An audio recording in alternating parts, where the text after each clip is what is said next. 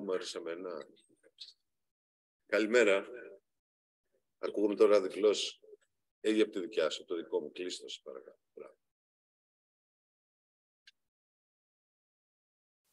Μάλιστα.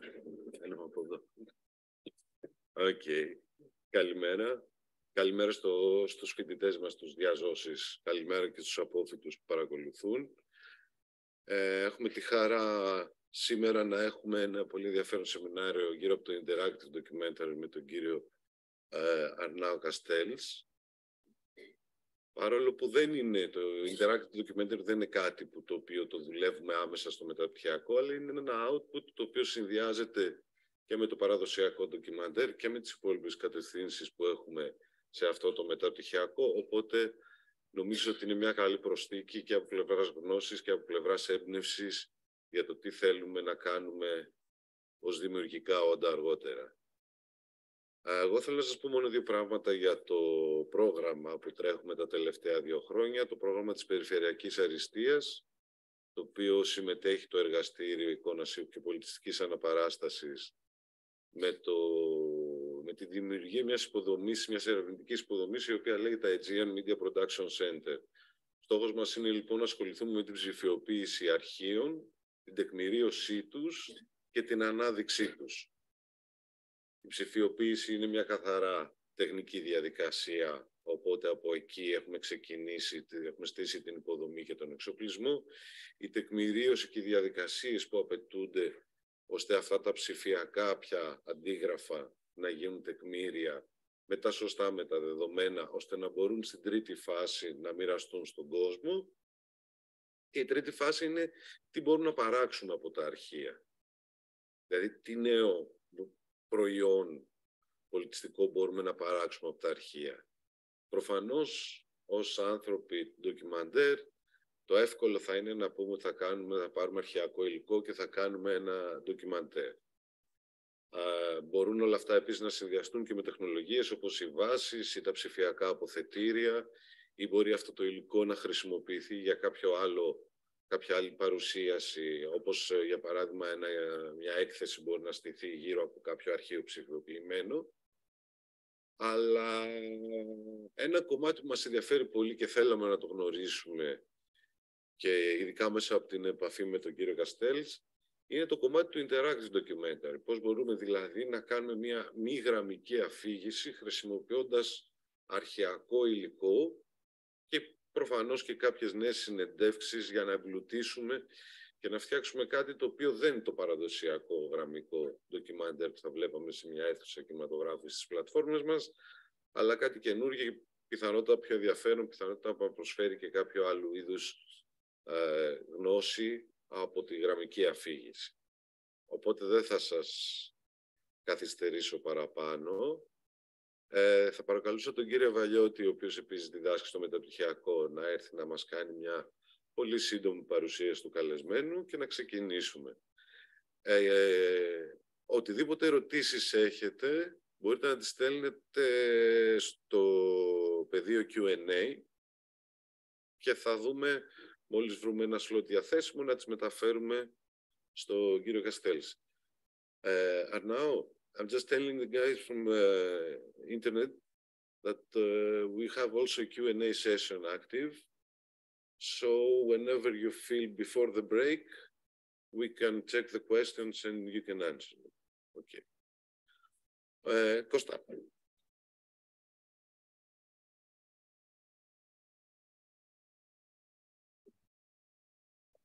Ευχαριστώ πολύ. Νομίζω ότι από τώρα ξεκινάμε ε, στα αγγλικά. So we can start speaking uh, in English.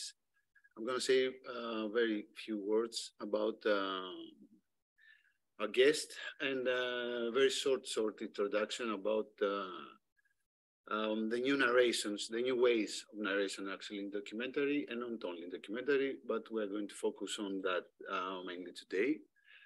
Um, there was always a discussion about uh, concerning these uh, new ways of telling stories, capturing the reality around us, uh, the everyday life. Uh, what we're trying to do with uh, whoever from us dealing with documentary, producing documentary or filming or creating, um, being around documentaries. And interactive uh, documentary is part of this world, is of these new ways of non-linear um, production, of non-linear um, uh, stories, uh, production and films that combine photography, text, video, animation, infographics, and maybe other forms uh, in, uh, in, uh, in the years that are coming in the near future. And um, this is not only happening in film studies. Uh, one example is we can take from social sciences and from uh, social anthropology, which, um, and not only social anthropology, social science in general. Uh, we were talking for many years about using audiovisual um, uh, means in, uh, in our research and uh, a, a, field that maybe you know called visual anthropology, visual sociology, um, and uh, visual culture. Now we are talking about a new term, a new uh, title uh, of multi, multimodal ethnography, trying to combine, trying to capturing actually to to see how we can call the field that we're trying to com in combine research other forms of uh, uh, telling our uh, art, write the article or are creating an article or other forms of uh, communicating something and knowledge or or a film. Um, so this discussion about multimodality is something uh, new, uh, but something that is ongoing. So we don't know exactly how it's going to turn uh, out. Uh, for many people, interactive documentary is still considered something new. Um, but the first works have been appeared around us like 20 years ago uh, or maybe more. But the last decade i think we see the impact not only on documentary but in all forms of narration. Um, take an example in journalism. Take an example in other um, uh, parts of uh, using audiovisual uh, means and not only audiovisual how they try to create and make the story more appealing and more um, creative in terms of transmitting the knowledge or the, the content of what they are doing. Uh, today, so I'm not going to tire you more. Uh, we are happy and honored to have uh, with us Dr. Anna Gifreu Castel. I don't know um, uh, if you use all the, the names all the time uh, here in our Department uh, of Cultural Technology and Communication uh, to hear and discuss about interactive documentary and its uh, today's impact. Um, Dr. Arnau Gifreu uh, is a media scholar, curator, and producer based in Barcelona, Spain. Uh, he currently serves as a professor at the Faculty of Communication Sciences of the Autonomous University of Barcelona. He holds a PhD in communication from Pompeu Fabra University and has been a research associate at the Open University Lab uh, on MIT, and also uh, in uh, IDOCS, a part of IDOCS group of uh, University of West uh, of England. His uh, research interests include interactive and transmedia non-fiction storytelling, documentary film, and digital, digital culture. Sorry. He has also produced several interactive documentaries and has served his field from the position of producer, project manager, and coordinator, uh, script creator, as well as an academic supervisor. So we're very happy, and uh, now the floor is yours. Thank you very much for uh, being here.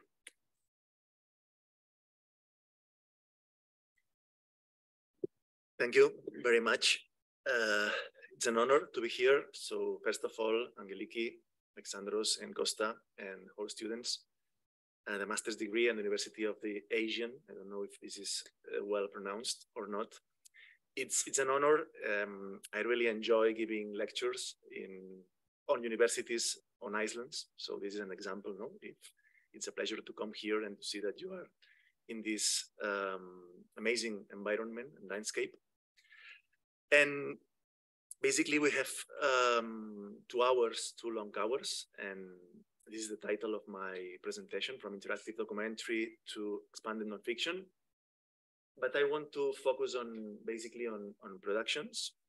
And maybe here I have this kind of scholar hat, which is from the professor from University Autonomous of Barcelona, Autonomous of Barcelona, but as well as a producer um, of a streaming platform from the public media system of Colombia in Latin America, which is called RTVC Play. So I want to show, I want to share with you uh, some productions coming from, coming out from these, these institutions. And the idea is that I, I imagine to split this session into two parts, two separate parts. The first part will be more or less around one hour. And during this first hour, I will introduce the interactive documentary and I will explain and argue how I think that interactive documentary is at the point or is an example of what we consider expanded or extended nonfiction, which is the, the term that I think that is really important here today. And after the break and the Q&A, um, we're gonna enter to the realm of the projects, which is I think the interesting part of that. And I want to show, I want to share with you three projects today. One of them is Cyber Project.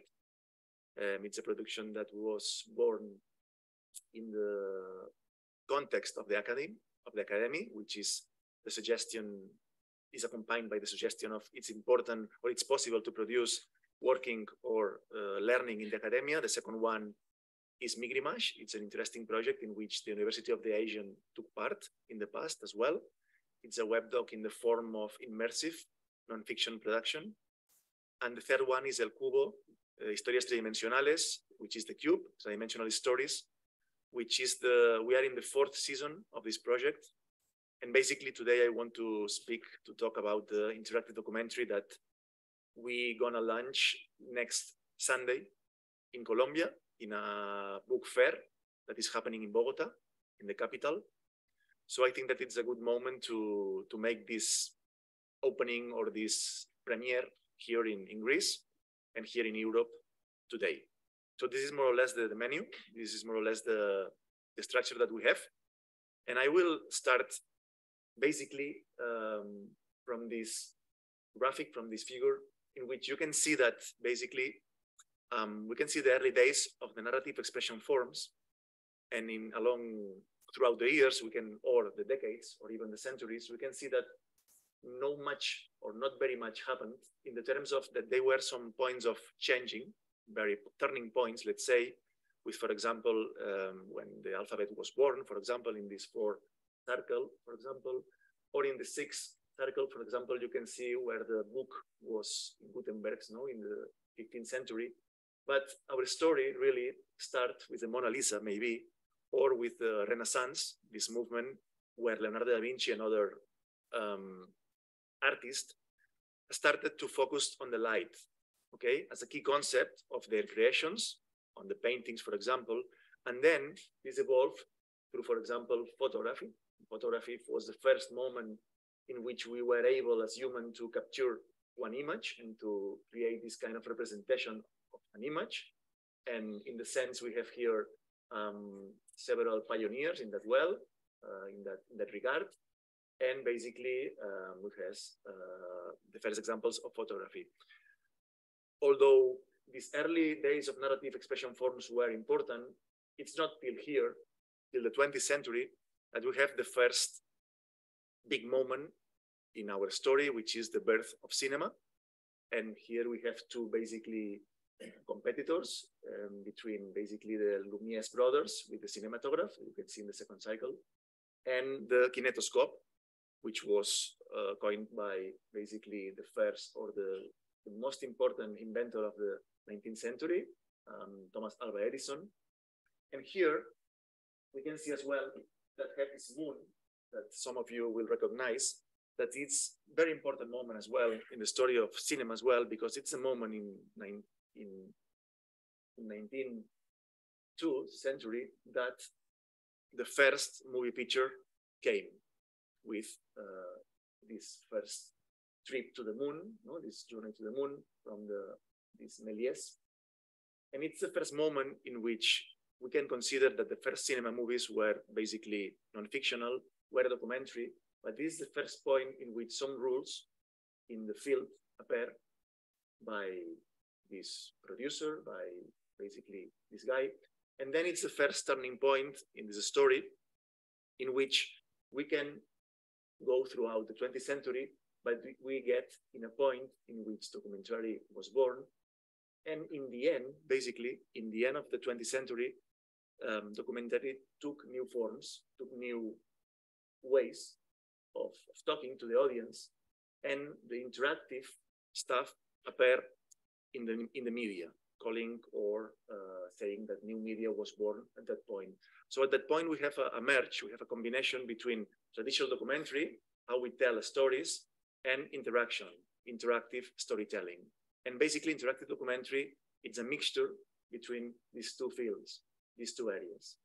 Um, my idea today is like this frame from the first movie from Nanook of the North, from this movie from Robert Flaherty, 1922. It's to go for the haunting or to go for trying to looking for some kind of definition or some kind of ideas that could represent or that we could take um, from interactive documentary. The first idea is that um, in in Europe, I think I think that we had uh, some kind of, of blooming of this new format. It's not an, it's not a genre; it's a format that maybe in Spain were located this blooming in 2012, 2013, and till 2018, 19, it was like a well-established form of production. What happened, for example, in, in Spain or in, in some parts of Europe, is that in these kind of countries, especially from the south, there is no fund, basically. There is no money to produce. So in the end, research or practice can advance, but not hand by hand in that way. And that is what I think that happened in, in some way in Spain. I don't know if in Greece it started.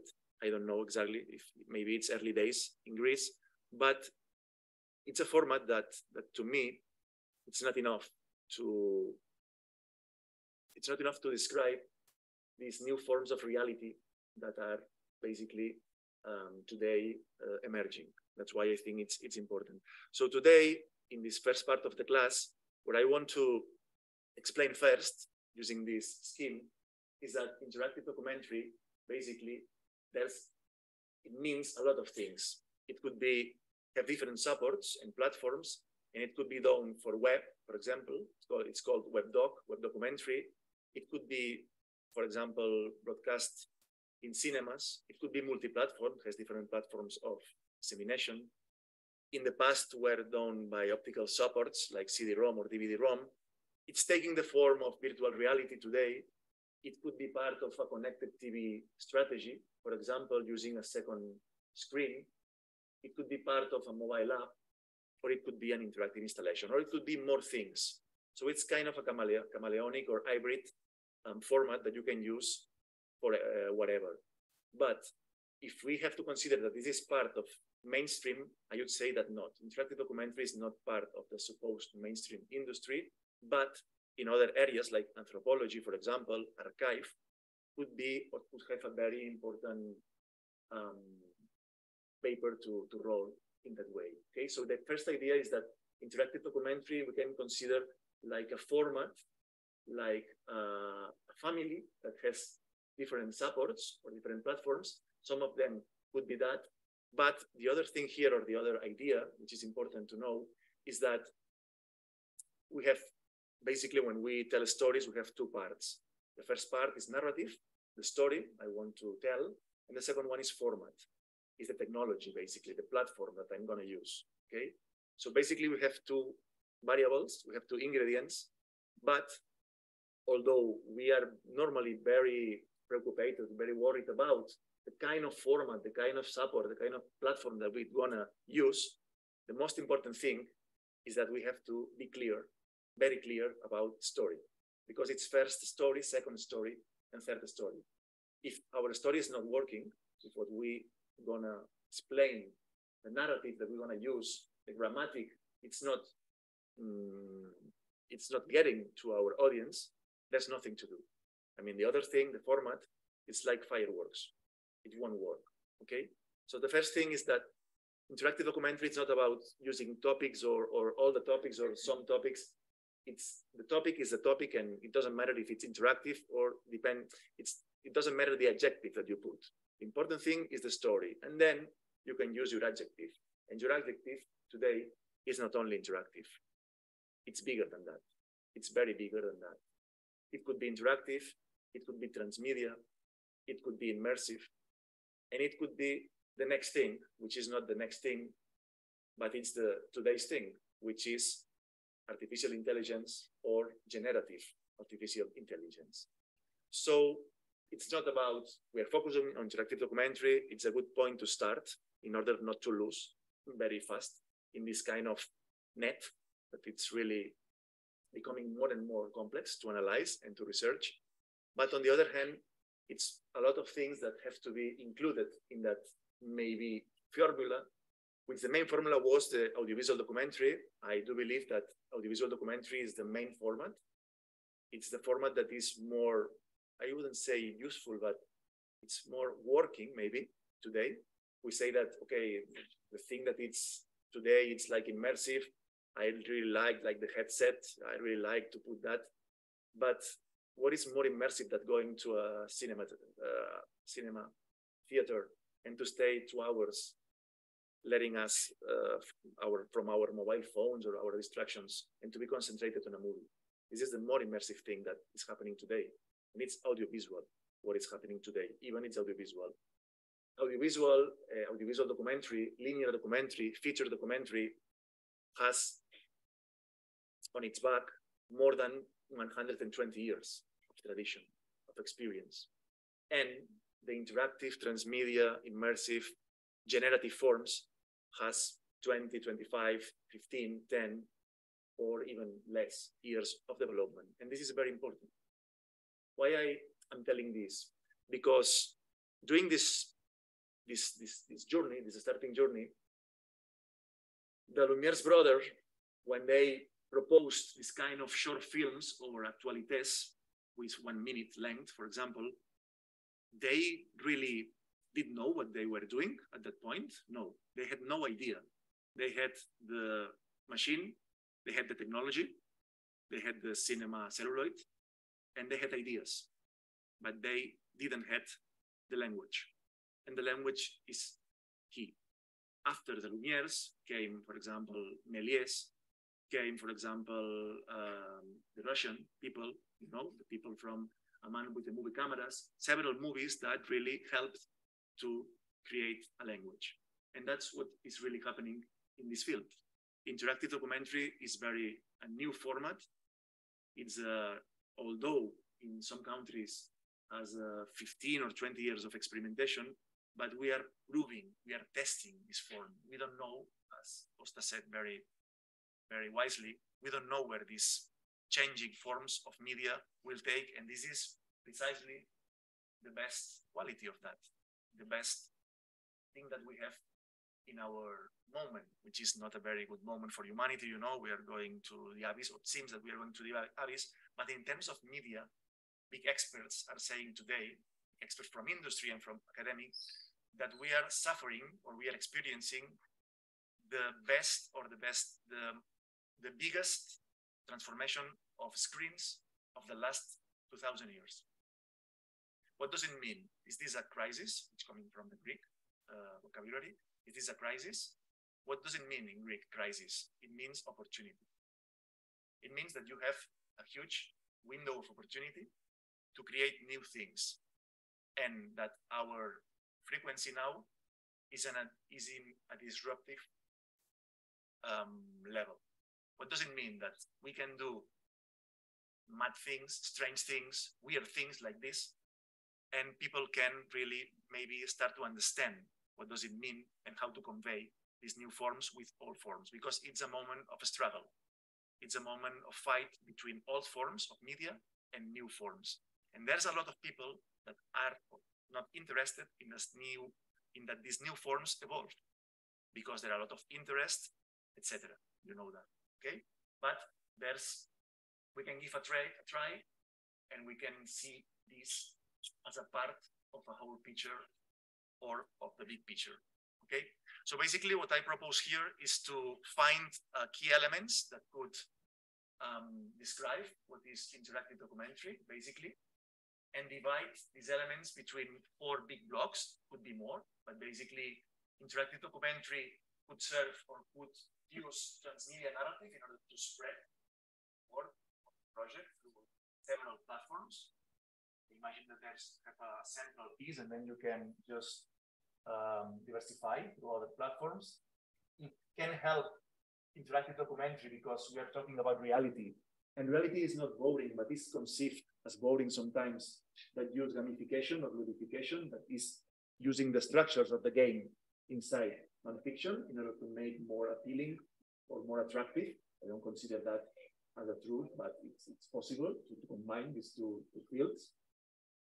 This is these are another two important words, engagement, which is very important for the user, for the people that will try to experience this interactive documentary, immersion as well, and another word that is coming from the informatics field, from the interface field, which is very important, which is basically the interface itself, user experience, or basically um, how we're gonna design the path in which the user will be inside, and usability, how we want to test, how we want to prove that this interface is working or is not working. Okay, so it's a new, it's not a new language, it's a new grammatic and it's a new vocabulary.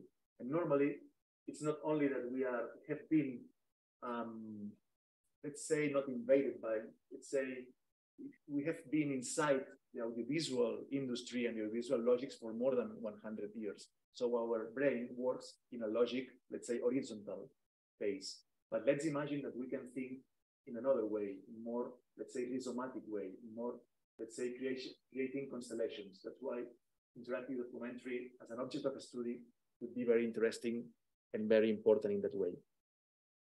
Um, in this journey of today, I will propose to see um, the features of interactive documentary um, in a little journey that I prepared of 10 projects.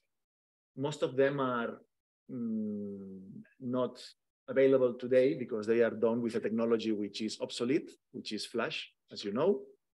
Um, for interest, blah, blah, blah. The industry is creating some kind of, of emulators of Flash. Let's see if this is going to work eventually or not. But these are my 10 projects. It's like from 10 to 1, in which I think that you could make uh, a rough idea of what is interactive documentary. Um, basically, here we have two basic or two top actors in the world. Um, one is in Canada, uh, the National Film Board of Canada, and the other one is in France, is Arte. Okay, so we're gonna take examples from these two big giants, um, but let's take a look, let's take a deeper look into these countries. Why these countries has have so big budgets to do that? And for example, Greece or Spain or in Colombia, we don't have these budgets. Why do you think that? Because maybe in this in these countries, in, in, in, in France or in Canada, they really care about social uh, population, social people, social politics, and they really um, take money from, from, from taxes, from whatever, and put into culture, into arts, and into social development. And part of that is producing these projects, okay? let's say that at that point of interactive documentary was at the highest point. Um, the, the investment in Canada were more or less, I think that $30 million per year in nonfiction, in production, uh, including video games, etc. Of course, not only interactive documentary. And let's say um, 20, 30 million dollars in France as well. You can calculate in Greece, more or less, each year, I don't know, which is how many money is, is really um, put in this in this regard. In Spain, is for for nonfiction is is a very low budget. Let's say half a million maybe, or or 2,100 euros per year to create nonfiction. Video games for me are an industry that is coming apart. In that in this first project in Prison Valley, we have basically um, the first maybe web doc that really worked in 2010 from David Dufresne and Philippe Brault. It's a project about the prison system in, in the States, United States. And we can go, um, although we can not see the whole webs of, of these projects, and for a reason of time, and go uh, directly to the videos or to the summaries or to the trailers of the project, let's see an image of this of this project and let's see the, the trailers and you can get an idea of the big picture of them. And this is the first one. Um, this is a very long trailer of the project. So maybe can just the end, but let's let's try.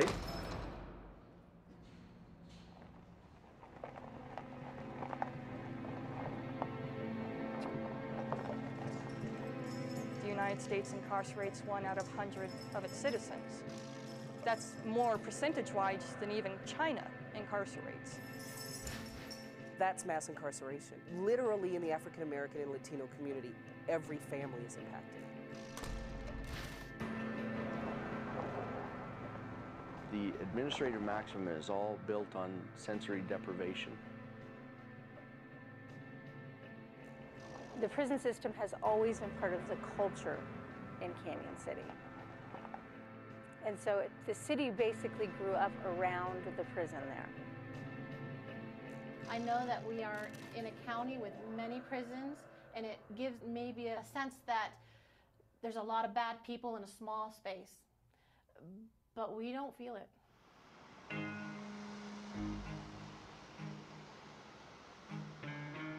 You don't find real friends in big cities. The small town, you, you find real friends.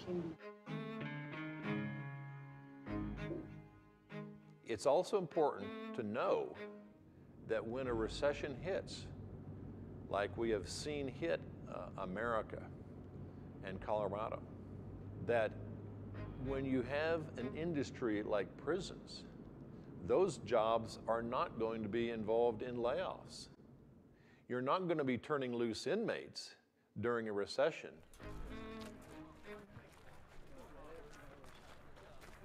Private prisons are an extension of the, the capitalist dream, which is to exploit everything, to exploit labor, just like the war machine is an, an example of that. every building that you see in Cañon City downtown uh, and in our county that has that kind of block, an inmate uh, at some point cut that block. If the prison was not here, there would be nothing and nobody because they have nothing else to offer. The nickname for this area is Prison Valley.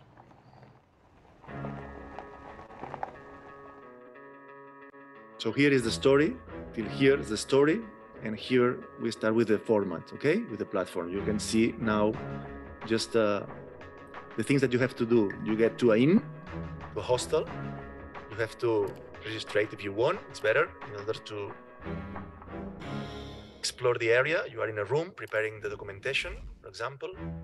It's this format of the documentary game. So you have to pass tests, etc., to see characters interview with them, share with other users at real time. They create some chats at that point, which is very interesting because connect people. Course, discussion forums.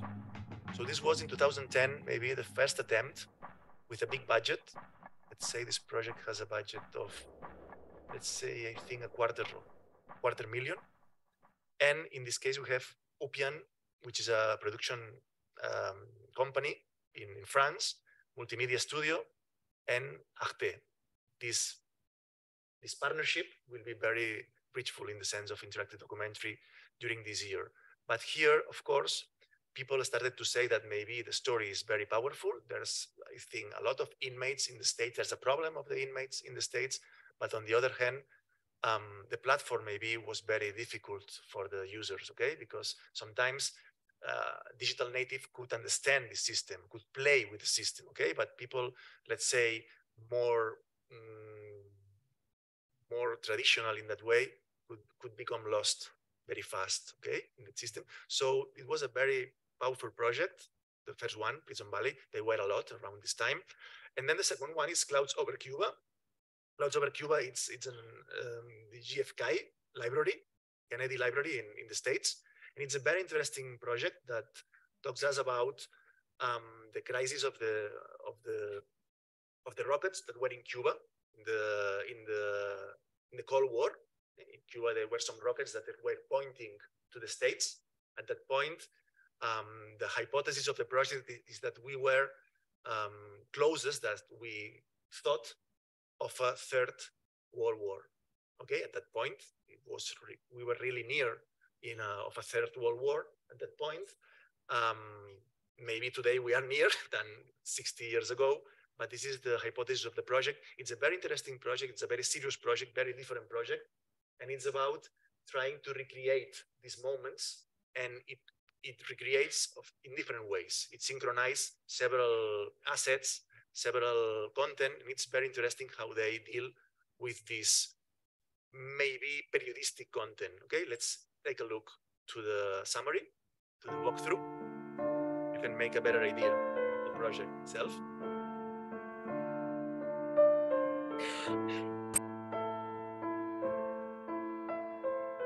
projects were done in Flash, so they are not accessible today. That's why. Then there were, all I remember is Big Flash. Я выпустил этот военный комплект прямо на Новый Орлеанский. Everybody we knew was gone. To remind us just how close we really came to nuclear war, the JFK Presidential Library created Clouds Over Cuba, the interactive documentary commemorating the 50th anniversary of the Cuban Missile Crisis follows the developments that led to the crisis, beginning with the 1959 Cuban Revolution led by Fidel Castro, and continuing on until the missiles were removed in October 1962. Along the way, the user is invited to explore 15 related events in greater depth via expert interviews including Sheldon M. Stern, former historian at the JFK Library.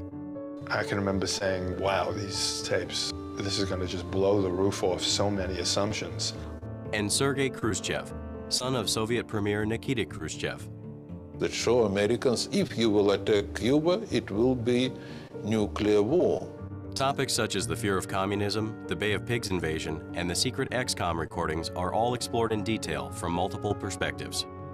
As the documentary unfolds, nearly 200 archival photos, videos, documents, and audio recordings are automatically added to a digital dossier for further review at any time. HTML5, JavaScript, and WebSocket technology enable a cross-platform experience between desktop and mobile. Users can link to their desktop so their mobile dossiers sync with the documentary playback. Visitors who wanted to follow the crisis live exactly 50 years later could import all the secret ExComm meetings recorded by Kennedy, letters between JFK and Khrushchev, and other material into their iCal and Google calendars with one click, enabling them to attend the meetings and receive the communications live over the 13 days. What is going on in Cuba? That is what has got to stop. The film ultimately builds to an alternate 2012, in which the crisis escalated into nuclear war. This short film tells the intertwining story of four fictional characters who each remember the horrors of the war in their own way. Since launch, thousands of visitors from over 154 countries have visited the site, and the world was once again reminded what would have happened had diplomacy not won out.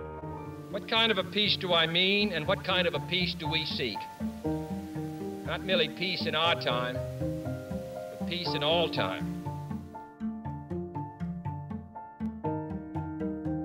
I think that this moment it's, it's it could be similar in that way okay of this project and it's very interesting in terms of archiving okay? This project could be a model and you can take if i know in this project in this university is interested in creating some kind of archive. So this this kind of a strategy of synchronizing of, of returning to that point could help in that way and it was a very interesting project.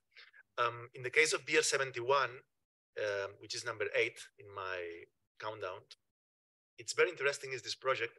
Maybe i can i can just i think give you a try because this is already or online Bear 71 br let's take a look if we can find a moment um, because this project was created originally um, without BR and then was reconverted to BR, which is a good strategy behind.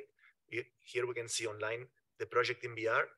And here the story is about uh, a beer. We are humanizing a beer, giving a, a name, uh, or name a number, beer, and we are like crossing a park in Canada.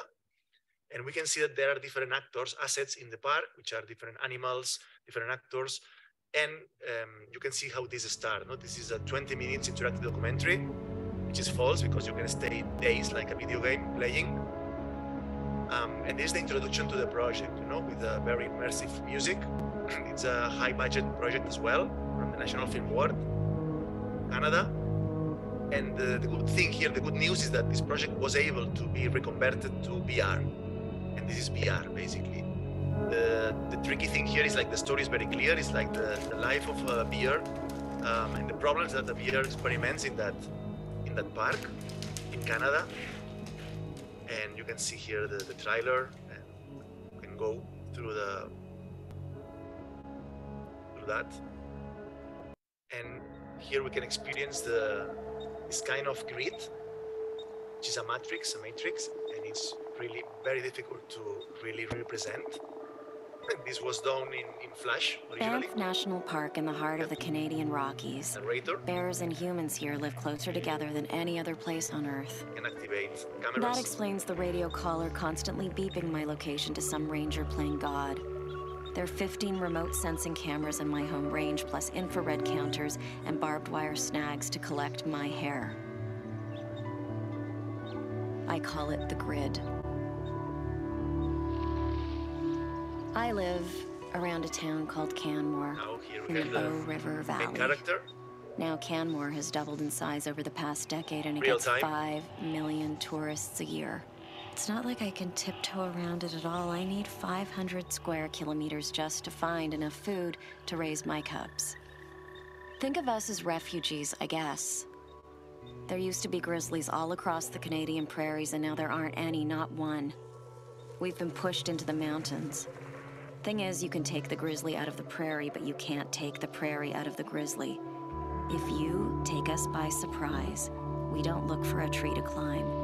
We As take you can see, coming. one of the main problems of this project is like uh, the main, the free exploration, right? When when you give the user free exploration, the problem is that it's like a mosaic of possibilities.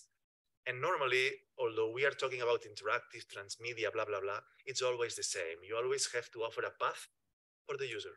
You have to always accompany the user during, during throughout the, the journey. Okay, it's very important that premise. It's very important because in the end, the user doesn't know what to do in that system. The system, the grid, was critiqued because it was were very complicated to understand. That's why that's why they they put a narrator there, which is very very interesting. But was a very interesting example from Jerry Mendes, Jeremy Mendes from the National Film Board. Then we have Welcome to Pine Point, number seven, which is another good exploration. It's working as well. Welcome to Pine Point. We can just take a look as well if you want. I prefer to see the video, but we have time. So as we have time, we can just take a look. If it's online, it's better. I think it's online, but I know that I don't know if it's working the Flash component or not. But they transformate as well some Flash components, and this is the this is the story of a project that doesn't exist. A project, sorry, a place that doesn't exist anymore. It's a place, a mine place in the states and then when this when the when the mine place was was working the place was really beautiful you will see and then suddenly the place disappeared. And then it's about a memory of the place okay? It's about the the directors the authors came back to pine point the place where they grew grew up and then they create some kind of a, a memory project. It's very very interesting the proposal and the mixture. You talk about multimedia assets how we combine Mouse click. basically videos, audios, text, narrator. Is a perfect example of, of, of- of multimedia combination using animation, Mouse click. the structure of, of a book. Backspace 10. There's a, a, a menu here, but basically it's linear. In, in a sense, it's linear. It's tap by tap. And here is one of the directors talking in first person. Was nine. He went with parents. Uh, sorry, his parents when he was young. Then it's like a road movie, a road interactive not only text and video, it's combining as well photograph, albums, etc. It's really a big composition. So you can come back to Pine Point and see the things, see the school, people. So that game you can create games, composites, colors, etc. You can see here the structures of the of the game as well. The mine closed in 1987, so your game the big deal, big problem. And then there's several chapters. It's another good example of interactive documentary. As, as I said before, interactive documentary can take several forms. The hybrid format, but there's a lot of ways that you can convey content, but the story has to be very clear. And has to be linear in a way. This is another important idea behind, okay? It has to be linear. This is linear because an order. If don't, probably you will have a problem because the user will get lost a chance. Okay, so it's another good story, and hopefully we can see online. Let's say that it's early to say that maybe 80% of the interactive documentary are lost. 80%. And when I say 80%, it's it's a lost because it's it's a it's it's very much because Flash just went down. In the same line of Prison Valley, and the same director, David Dufresne, with Arte and NFB. This is the first, the first time that both Arte and NFB joined, joined forces, team up. And in 2013, they create Fort McMoney. The, the budget was, um, I think, $1 million, which is a big amount for creating nonfiction, basically, because nonfiction really has very low budgets. It's a, it's a pity, but it's, it's like this. And Fort McMoney was similar idea to Prison Valley, not about the prison system, but about the oil, the oil business in Canada. What we are doing with the oil, there's a there's a city that is called Fort McMurray, and in the city you can become rich very fast in terms of working in the industry oil. But on the other hand, what are we doing to the planet? No, in that way, kind of dialogue that we can establish, and the same structure. It's a documentary game. You have some kind of a control panel in which at the time you at the user even can vote for the selection or for the elections of Fort McMurray. So it was important because the project were really connected to the social indicators of the city. Okay? This was, but it was very criticated as well, this project, because some users said that the control panel was very difficult. And what is this exactly? Is this a documentary? Is this a game? There's a marriage between documentary and game or are separate things? What do you think? Okay, let's take a look to, to Fort McMoney and you can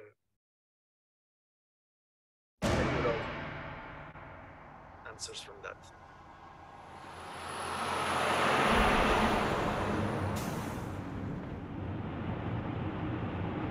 The first impression most people have is the long drive north in the middle of the forest for a couple of hours of time, and all you see are the trees, and you wonder if there's going to be a civilization at the end.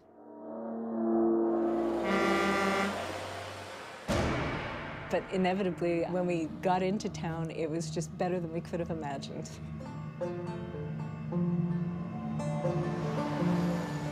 C'est à ma connaissance une des villes euh, qui a connu la plus forte croissance euh, en Amérique du Nord euh, tout au long des dernières décennies. In short, it is an enterprise of epic proportions, akin to building the pyramids or China's Great Wall, only bigger. Let's go to McMurray, the big boom town. The average salary for a family is somewhere around $180,000 a year. Everybody's living hard, drinking hard, playing hard, spending their money, and God bless them for spending their money. We are so much more than money. We're more than oil sands. We're more than money. We're a community. All across the globe, people are benefiting from what's happening here. They call it development. Uh, we call it destruction. We're proud of the oil sands and what it contributes to the nation and to around the world. We take the environmental concerns very seriously.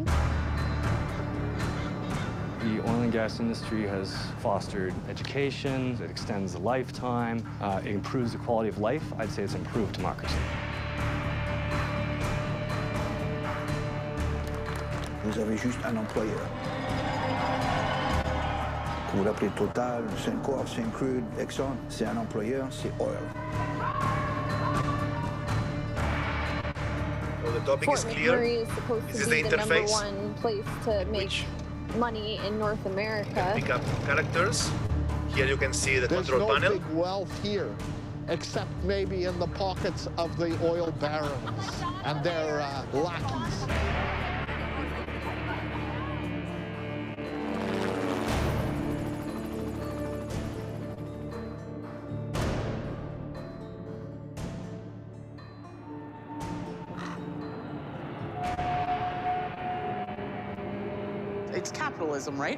Isn't it?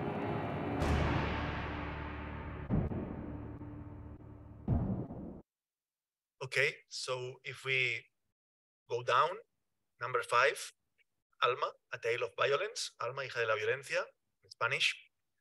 Um, this is a very, very impressive project.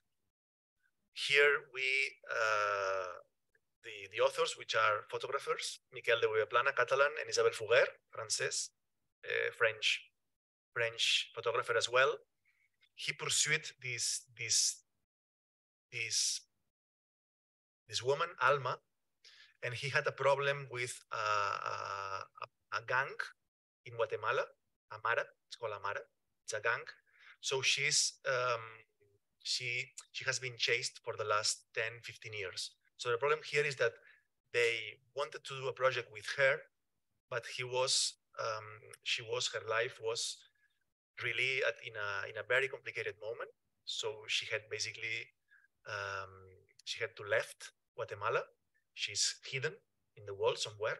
So this project is not available in South America, for example, because they could, the maras or the or the gangs could take some kind of ideas or or, or uh, of the right place of Alma. Okay, Alma is transmedia, has several platforms, a feature documentary, uh, interview or interactive interview for for tablets which was the main interactive projects, uh, photographs, a book, etc.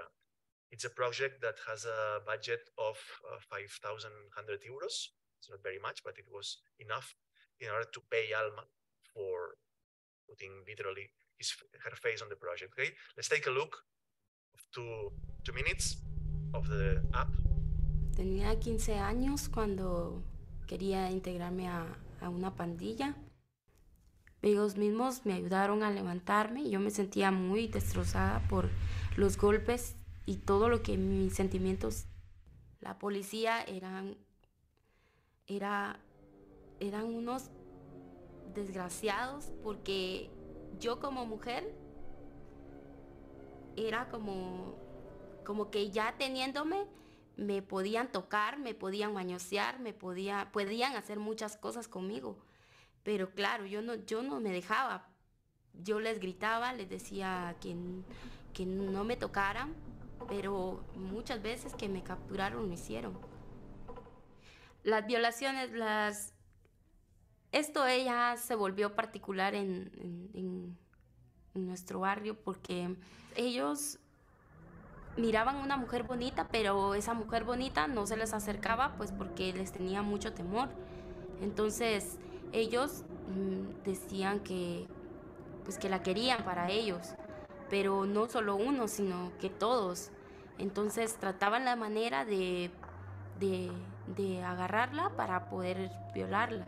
Y en algunos, en muchos casos, se dio esto casémonos y nos vamos a vivir a otro lado, yo te ayudo a salir de esto, pero eres una chica muy linda y muy especial y no, no mereces estar con ellos. Mira, ellos no tienen futuro y tú eres mujer, tú tienes que salir de esto. Y yo le dije, no, sabes que vete de mi vida, ya no, no te quiero ver. Well, this is only an, an, an extract. It's, it was about 40 minutes of this interactive interview interactive documentary. Um, the good thing that they did is that you can, at that point, you can download to the app, to the to the iPad or whatever, and you can see in local, for example, the project, which was amazing at that time, depending on the places in South America. Um, they don't have connection, internet connection. And the other thing here is that she's Alma is unable to to walk because she was shot by the Mara several times. That's the story. Sorry for the spoiler, but this is like the the secret behind the story. You have to see the, the documentary or the interactive part. And basically, as you can see in this kind of countdown, um, the interactivity first was very complicated. Prison Valley, you know, documentary game. Uh, you have to know a lot of things, control a lot of things, variables, clouds over Cuba, transmedia. Uh, you can uh, submit archives, create BR71, extreme grid. But in Alma, what you can see is that we are running to a more simplistic representation of reality. Because at that point, people that were doing interactive documentary realized that in the end, audience has two main problems. Maybe it gets lost, or maybe it um, saturates from a lot of content. Okay, so in that case, in terms of user uh, experience or in terms of usability, you have always to avoid these two main problems. Okay, how you can do that?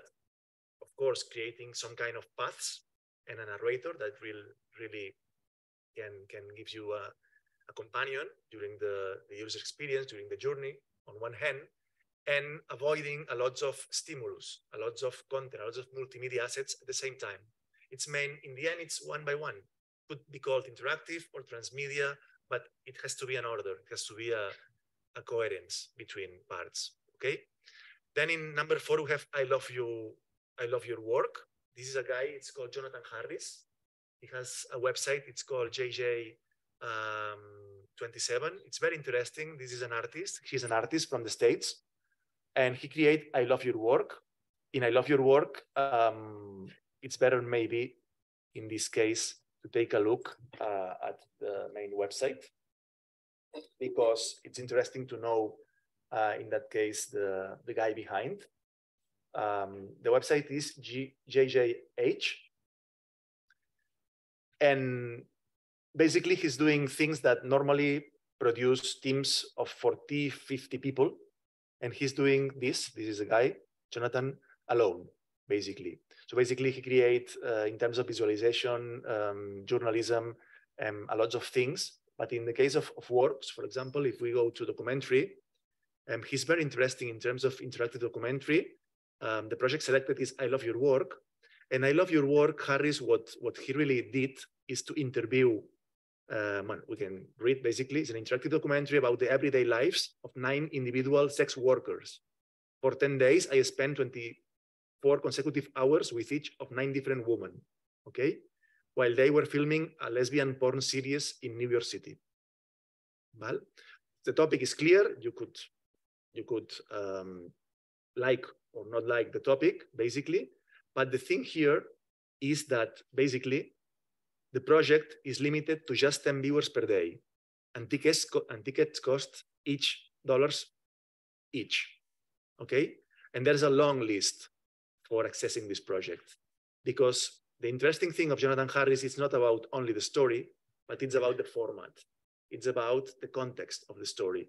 And we imagine one day, or we consider that website or internet is free, and you maybe pay for an app or for a video game. Why not paying? for internet. That's why we are so poor in this field, okay? Because everything seems to be um, free. And Jonathan, which is a well-known author, said, okay, this here, but here the, the, the, interesting things of I love your work is the metaphor. The metaphor of these places of the, of the peep shows, for example, when you see to when you go to see a woman and men nude, for example, is that you have to pay, and only X people could come, could go, and could see through this kind of little tiny uh, whatever holes. No, this is the same metaphor that what really um, Jonathan uh, started to put here. Okay, he worked um, on other projects which is the same um, the same idea. For example, network effect. In network effect, for example, which is another example, um, what he creates really is like create this kind of thing that he he's photographer and coder as well. So basically, the IP of our computer is detecting that we are or we're living in Greece, where the average life expectancy is almost 80 years. So you have 7.99 minutes almost eight minutes to access this website. And then will be blocked for, 20, for 25 hours. So it's creating a context. Then you can choose a topic, for example, um, KISS or kick. And this is what the website is returning to us, all the content at real time, in real time, sorry, of uh, associated to the word to the to the word kick.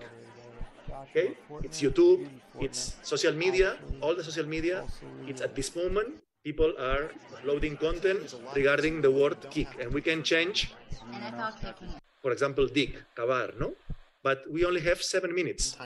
So please stress, stress, stress, which is the metaphor of the society that we're living. No, it's always fast, fast consuming, fast web, fast everything. Um, it's very interesting the concept, you know, and the, what we call like the, the nuclear part of the of the content of the story, no, el núcleo, content which is outside, which is very important in terms of multi-platform, in terms of interactivity, in terms of web design. Okay, so this is the, the another author in general, but in terms of project, I chose this project, which is the the I love your work. Okay, so this is kind of the frame of the project. You have the ten the ten lines of the ten lesbian born girls, and then you can access um, during 24 hours of the projection that that uh, Jonathan Harris did. Um, the last three projects that I want to show, and we'll finish this first part of interactive documentary, is Do Not Track. Do Not Track, uh, maybe it was the, the last big interactive documentary or interactive documentary series in 2016. It's very, very long project about, um, there's uh, some entities on, on, the, on the website, it's called trackers. The trackers will follow your path on the internet and then, uh, for example, an ad of this MSc at the University of the Aegean will appear on your browser, and you don't know why. That's why the trackers are following secretly your advance, your your your route for the website. And here the project is proposing to do the inverse thing. I mean, let's track the trackers. Let's see who is seeing us on the web. Okay, so they propose short chapters, little interactivity. It's very linear um, helping you to understand how everything is uh, on surveillance in the world. Okay, how everything is like, which is the not the not today not today's world, but maybe in in five ten years, maybe the whole world will work like with standards like facial recognition, like China, etc. We don't know where we're what we want to face. So this project is advancing some stuff in that in that way. Let's see the a summary of one minute, Have and you you can give the uh, internet getting a main idea, okay, of the project. It used to feel like a fun, magical place. Sorry, I just Have you noticed the internet getting creepier? It used to feel like a fun, magical place. But these days, something feels off. It seems like a few companies are getting rich and the rest of us get tracked. And the more things are targeted to us, the less equal we become. So a group of makers and public media folks got together to explore what is happening. From our mobile phones to social networks, from personalized advertising to big data. Every two weeks, we'll release a new personalized documentary with a different perspective. We want you to understand the value of your privacy, so we're going to ask you to let us track you. During each episode of Do Not Track, you'll be able to use your own data to understand how information about you is used by others. We'll give you more knowledge so you'll have more power. Let's track the trackers together. Here again, we see uh, uh, a very important team up between Upian, the, the multimedia studio in France, Arte, National Film Board, and Bayerisches Rundfunk, which is a German television. Okay, then they they got one one million euros to do that. It was it's amazing. Okay, I really recommend to see that. The other interesting project here is um, High Rise. High Rise maybe is the is the biggest transmedia documentary ever did on my vision of the field. Uh, it's not only interactive, but it's transmedia, and it talk about uh, landscapes and basically skyscrapers. Okay, we are living in a high rise. The, this kind of living it's not horizontal anymore; it's vertical, And we're gonna explore how is this life in terms of vertical people living in places that they don't know each other, basically. Okay, there are several projects. The main website is not working. I don't know why. We should we should phone the NFB. But there's a project, especially inside one of the iterations, um, which is called Short Story of the High Rise, in which here um, they, which is the main city of high rises in the world. You know, it's it's New York, right? Then here the NFB, the National Film Board of Canada, uh, team up with the New York Times. They rescue uh, old footage and all, uh, and they create this amazing project. To watch the film, just lean back and relax. At any time, click down to dig deeper and get the facts. Dig deeper and deeper. Which is not working very, very well, but has several projects, several chapters, as you can see, mud, concrete, glass, home. And to me, it's keeping the, the, the right or the perfect balance of uh, interactive documentary in this case. I mean, there's two modes of navigation. There's a linear navigation that goes alone if you don't, if the user is like afraid of, of navigate, of interact. So you can see here, and short stories, short chapters of eight, 10 minutes. And then at any point, I can just roll out the mouse on the screen, and then I can go deeper and deeper, okay? And can then I can discover content, but only when I'm like, uh, I want, okay? I decide as user. As you can see, not so very long ago, the image though the city of New York is very black, as you can see. it's not working, sorry. Sometimes it fails. Let's see if this works. Maybe in, in Chrome or here, it's not working very well. Let's see if we are able to see the project, or if done, you can, you should imagine them. Let's give a try. Again,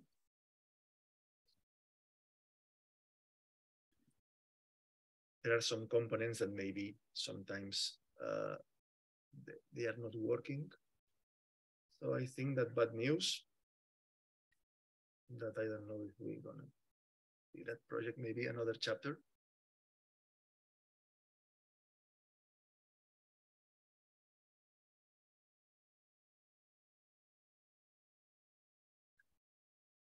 Pues no.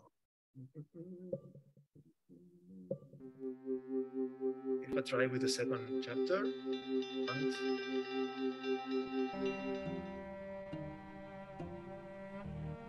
only to.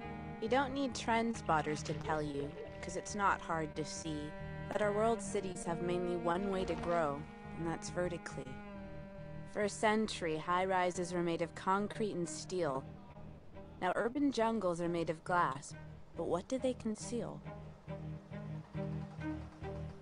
By the 1990s, the spirit of public housing had turned into a ghost, and the commodified glass condo rose as the new observation post. All over Asia, pop-up cities, megacities, and supercities increase in relevance, while next-gen slum clearance sweeps through the developing world's informal settlements. The overall budget during six years was 1 million Canadian dollars for this project, 2009, 2015. So it was a big amount of money invested. Several projects were uh, out of them. This is one, maybe the most balanced in my view. This has this kind of of linear thing, then I can interact inside, and then I can see photographs, uh, play games. I can go deep and deep inside, and then the movie is waiting for me the movie is waiting for me in order to come back here and restart at the point where I even left. old concrete blocks are the target of So I think that this project could have everything: a good script, good image, good montage. Um, it's part of a Kiger project who's good uh, has good interaction as well. It's very balanced in these ways in terms of narrative, in terms of story, in terms of linear story, and in terms of interactivity. Okay, and it's not overwhelming the user when it's um, navigating. So I think that it's a very interesting example that you can um, maybe this weekend or next week when you finish this kind of marathon of, of classes of the master's degree, you can just take a, maybe I can send you the links, uh, Angelique, if you want, because I send you the links of the main, my main projects, but not these ones. So I can send you the links and you can share with the students if you want, okay? And finally, number one, according to my view, Last Hijack Interactive. Okay, here it's a production company from from um, Holland, from the Netherlands. Femke Wolting and Tommy, Pallotta in 2014 make this uh, work, which is amazing to me. Maybe the topic is not my best topic, uh, but um, really the project is very, very interesting. Um, I think that we can see the, the walkthrough better than the project, which is online. It's already working. And you have a, an idea in, in three minutes of the project itself, explained by them, which is the interesting thing of the project.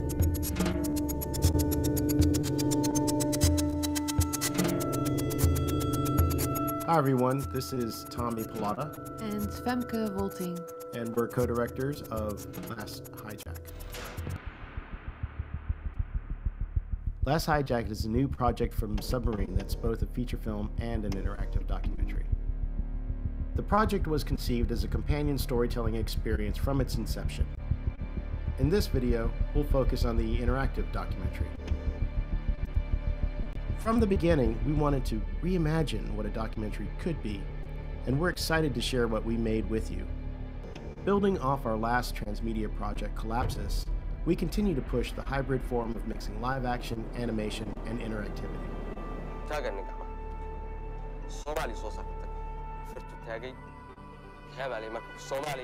The animation is used to visualize memories, dreams, and fears of the main character.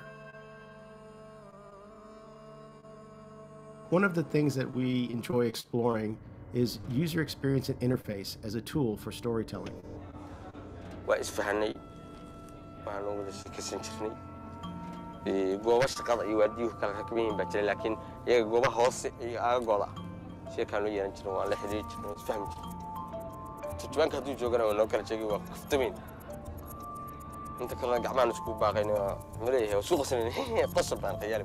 Last Hijack Interactive delves deeper into the world of modern day Somali piracy. We have taken advantage of the interactive platform to transport the audience into the story in a way that traditional film cannot.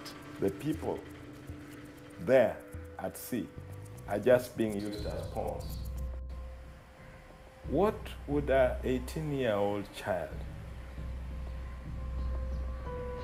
demand a ransom of $3 million? The interactive documentary tells a bigger story about the origins and the economics of piracy.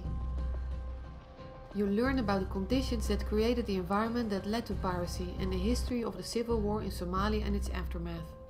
aad waxaan u jeclaa inaan noqdo dhakhtar The user interface is a timeline where you can experience the origins of piracy from the 90s to the present day. Through interactive data visualizations, you will find out where the piracy money goes, both in the West and in Somalia. The pirates told me that they required 2.5 million US dollars or they would uh, shoot the crew. In the interactive documentary, the viewer can navigate between two perspectives the POV of an English captain who was hijacked, or through the eyes of a pirate.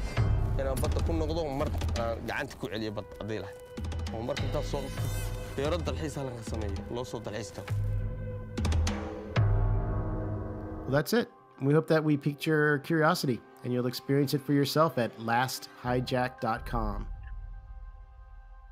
So, according to my view, this combines um, the main ingredients of a, of a good project, which are basically a good content of, of documentary, audiovisual documentary, animation, which really helps nonfiction and documentary, good interaction. You can synchronize or you can go to deeper in several stories at the same time, which are synchronized, which is basically the hijacker, the captain of the ship, the wife of the captain of the ship, the expert in, in, in hijacks at the same time in several moments in life. And you have around in a circle, you have the data visualization of the journalism, um, um, which is basically statistics of the last years in Somalia and in the world in general in terms of hijacking or piracy, modern piracy as they describe. I really recommend that you can just take a look to this, this project if you have time and if you want. And I will finish this, this first part of, the, of, this, of this class with a provocation, okay? I will finish with this part of more theoretical stuff, although I really, not hate, but I try to avoid a lot of theoretical stuff. I, I prefer to use more projects in order to give you um, ideas on how to approach to produce, which is the really good thing here, although we have to respect academy, of course, which is basically understand that interactive documentary is only a, a, a, family or a part of a very bigger field, which is basically expanded nonfiction narrative. Okay, just open, broaden your field, your view, and try to think that maybe if we consider that there are basically two macro genres, which are basically fiction and nonfiction, create from nothing or from an argument and represent reality, nonfiction, maybe in the middle is happening something today. Okay, in these disruptive ways, in this moment of change that we are living, whatever we like or not, something experimental in the way of essay, pervasive, hybrid, and disrupting is happening at the borders.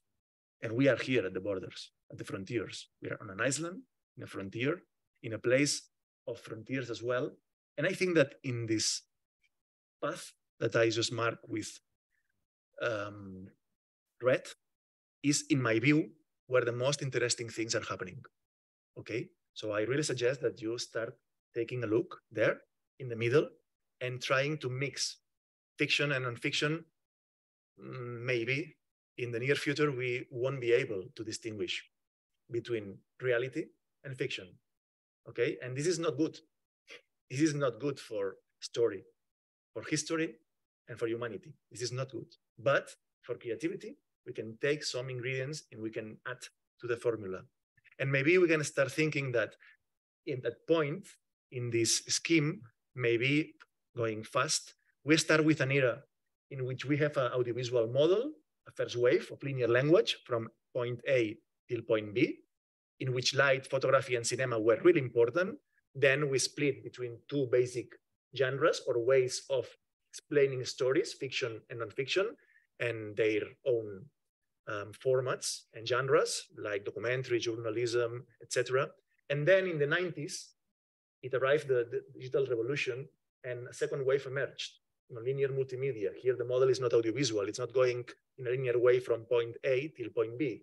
It's like the discourse, the narrative stops and interpeals the user, say, okay, you have to do something in order to advance. If done, you stay here forever or you can just quit. Okay, this is a very important because sometimes audiovisual and interactive, it's like orals, oranges and apples are very different. And then now we are getting here in the end, which is the question marks, which is a, a exciting moment in which virtual reality, extended reality, and augmented reality, sorry, in artificial intelligence, is creating this kind of third wave.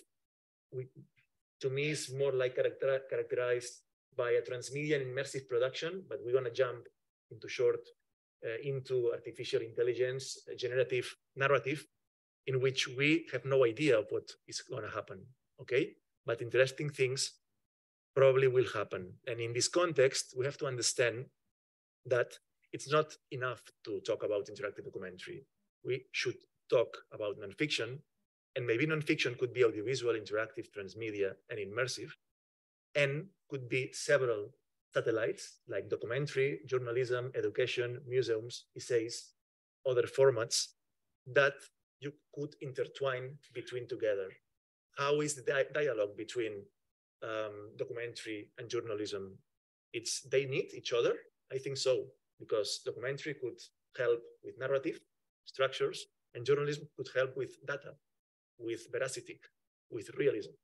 Okay, so the, the tricky thing or the or the exercise that I propose you before stopping now, um, and we can say Q&A now and talk a little bit, is try to make some kind of mixture, okay? It's not like a match in the terms of Tinder, for example. It's not so funny to make a match like in this con dating app, but it's it could work, okay? Try to um, select one area in which, for example, in my case, today I'm here working or invited because at one point I decided to go on the research in the terms of documentary and the form of expression was interactive. So I became a researcher in interactive documentary.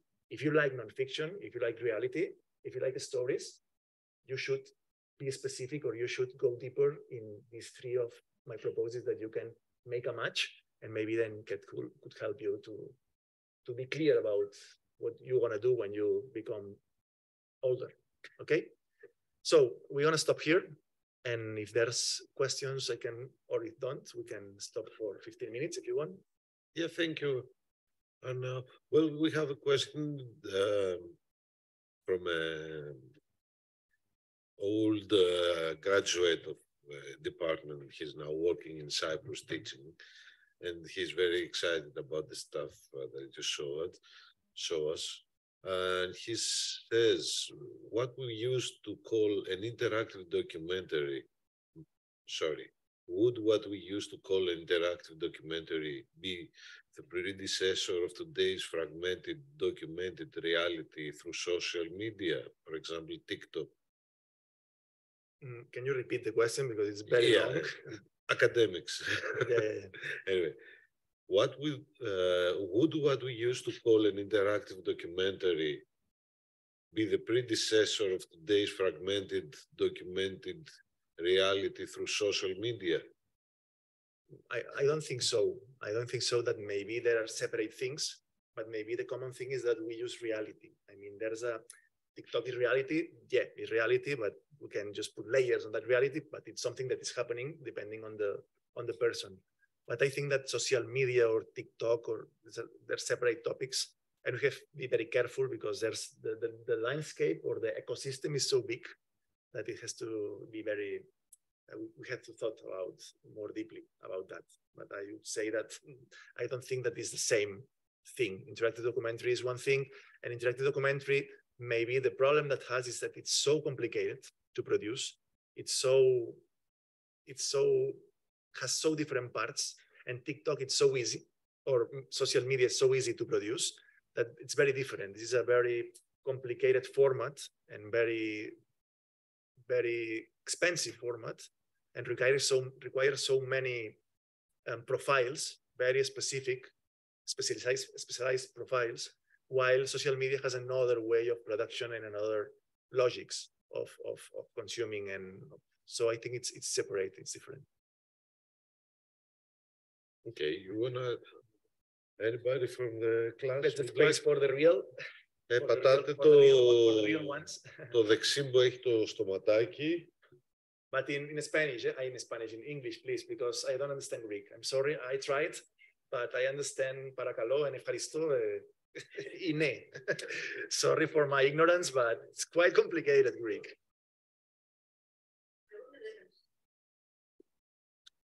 First of all, thank you so much uh, for opening our eyes and our minds to a lot of new things uh, as far as I'm concerned. And I think I appreciate it also that you showed us a lot of practical examples. I think uh, there are a lot of issues to discuss as you also opened up the discussion at the end, which are very big, which I won't go into but I just want to make also a little bit of a provocative comment myself.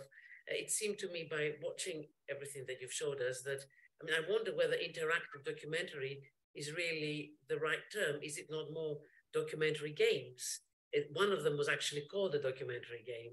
I mean, it, it, it seems to me that the, this approach has a lot to offer to the gaming world, where, in terms of educational and other content, given what the gaming world is today and, and how much money goes into the business. So, my question is in the last 10 years, where a lot of these extremely interesting examples that you showed us have happened, has there been any impact in the gaming uh, industry and gaming design? Because this is really what all this, in my mind, should fit into. As as far as I can see, it, probably this approach has a lot more to offer to the gaming side rather than the documentary making side. But everything is open.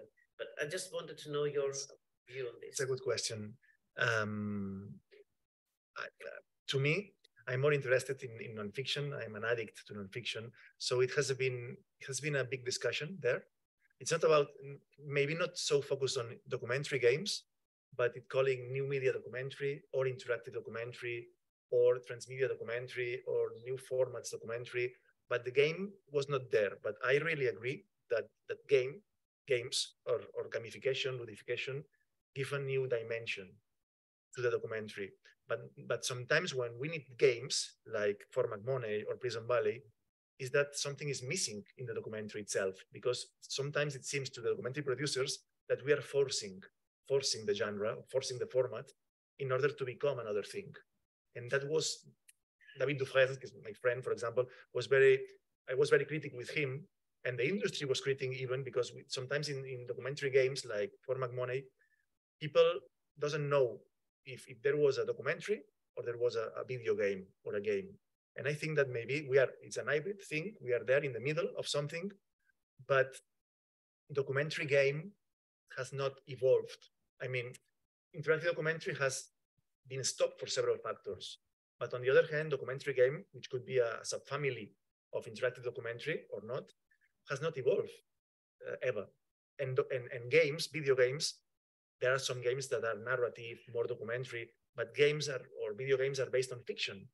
So this kind of, of way that you are suggesting that documentary could be a documentary game and become a format or a, or a genre has not evolved either.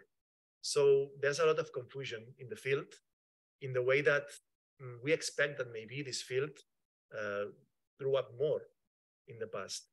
And for several factors, and especially in, in, in Netherlands, in England, in France, in Canada, they stop. They stop to do interactive documentary.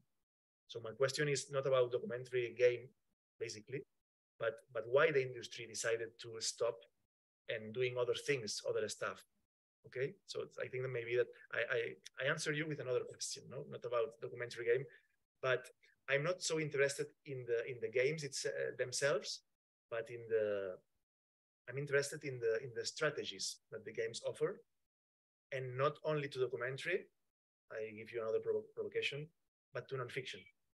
So my my my work now in, in this kind of post um, doctoral studies that I'm doing now is trying to offer to the industry some guides of production for nonfiction projects. So I'm very like stubborn, and in that way, I'm trying to do to work on that on that field.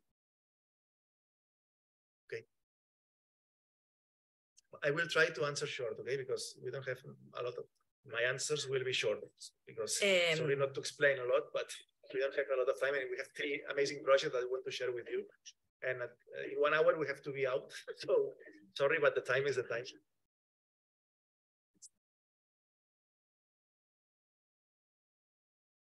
So I'm just uh, gonna comment on um, a very, very interesting question and a very interesting reply. Um, with, I think the, the last uh, project you show us, last uh, hijack, I think they mentioned uh, Collapsus.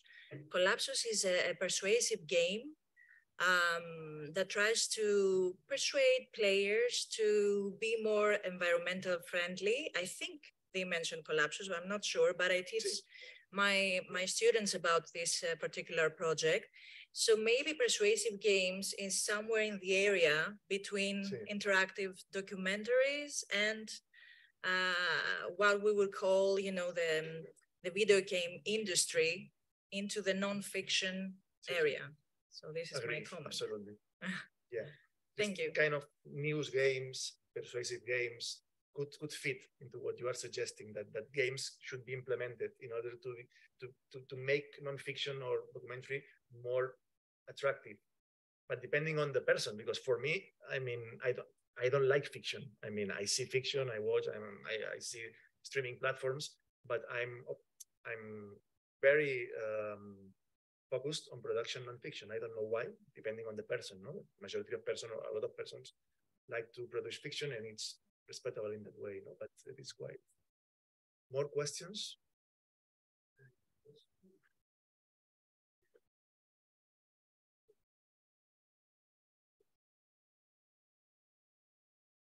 Well, first of all, first of all, I would like to thank you myself for your presentation. As a matter of fact, after Flash has collapsed, it's very difficult to find interactive documentaries wandering in the huge world of internet, and it was a fine opportunity to uh, contact a collection and finally chosen ones. So uh, my uh, almost philosophical question is uh, the term interactivity, uh, as far as I could got, got it from the examples we have shown us, uh, isn't appears in these documentaries in terms of uh, navigation or in terms of selection of the depth of information. Um, or in terms of launching content. But what about interactivity in terms of the user being able to add something, to change something, not only in his own uh, way of viewing the content you have prepared, but something that can be left for other users or other viewers to experience afterwards. Because uh, since I'm working in another field of uh, nonfiction narratives, and I'm very happy that you have mentioned it, uh, exhibition and museums, there uh, it's a big question whether we can allow visitors to interact, not only to launch content, but also to alterate or to change what we have as creators prepared. Um, what you suggest is what I consider as generative um, interactivity, or there's several authors that really um, separate interactivity. The, the, the, the, easiest way to understand interactivity is, uh, is low interactivity, medium interactivity, and high interactivity, or strong interactivity. And in that way, I think that the, the there's a there's a triangle, a pyramid, and this triangle normally the, the, the studies or research says that 90% of the users doesn't make anything, basically. 9% make something, which is upload, take decisions, and one only percent, which is growing, contributes to the to the work in yeah. terms of. Uh, but the system has to be prepared in yes, order to accept. My problem is that sometimes we're uh, talking about interactivity, uh, and uh, we're very satisfied with our products, although we do not actually offer something uh, to the final user. For instance, I used to say to my students that when you want to go to the toilet, you uh, handle the doorknob and you open the door, but you never think that you have an interactive toilet just a, a physical it's action. It's another, another if class. you want to enter the room, Design you have to enter the doors. Yeah, I understand. If and you just push a button in order but, to launch but, content, then and is it really this, something this, interactive? This light, I dislike this. This last answer, um, I think that has the key. What you are trying. I mean, we are designing interactive systems for the last for interactivity or for narrative for the last 20 25 years the language has not evolved. It's what I said at, at first of class. It's not the language, the audiovisual language that you have, which is running and it's working, the star system in Hollywood, etc. That interactive language, which is not so mainstream for everyone, there's, and, and, and interactivity as well normally needs that the user or the person who is in front of the interface thinks, think, and take decisions. And by story, we are humans and we are lazy. And this is not i'm not saying that. I mean it's a study that we are we want to stay near the firebone and there. And so in the end sometimes interactivity it's not so easy to deal with the with the user. So this could be another reason in which we, we sum up these two parts. The, the interactive systems are not well designed has errors has problems. And on the other hand um, we are just knowing or developing a new language which need more ears and more people that understand these new languages, for example. That's why, for example, streaming streaming platforms are not betting, for example, for interactive content. Although Netflix has 25 or 30 interactive projects, most of them for children, they are not betting a lot of money or a lot of research. They are producing like yes or no. No, it was this kind of Bandersnatch, which was the first one, was amazing. It, it seemed to be well. But then you go to Disney, for example, you go to HBO, there's not nothing interactive and that's that, that's that's a warning i mean because something is not in that way yeah in the way of, of narrative and tv and broadcasting. There's other ways there's other fields in which they're working but but i think that probably um, we have to we need more years in order to be more interactive. But the problem is that a new word has come into the equation and this word is immersive today and it's um, artificial intelligence which is interactive as well but is, is coming to this field.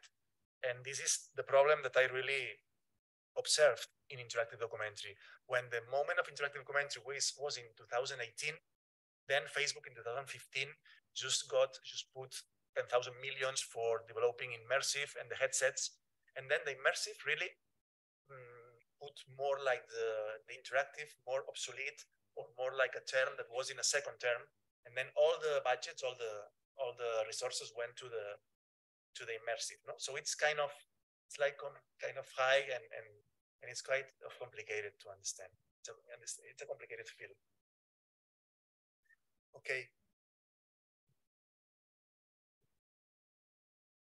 Uh, I hello. First of all, thank you very much for the presentation. It was uh, very interesting. Uh, I just wanted to say something similar as the question before. Uh, how do you see the future in the uh, interactive documentaries and how can we evolve the participation of the user? Um, and uh, at the beginning of your presentation in the first project in the Prison Valley, um, I think you said that uh, the user could discuss with the characters. Is, is that right?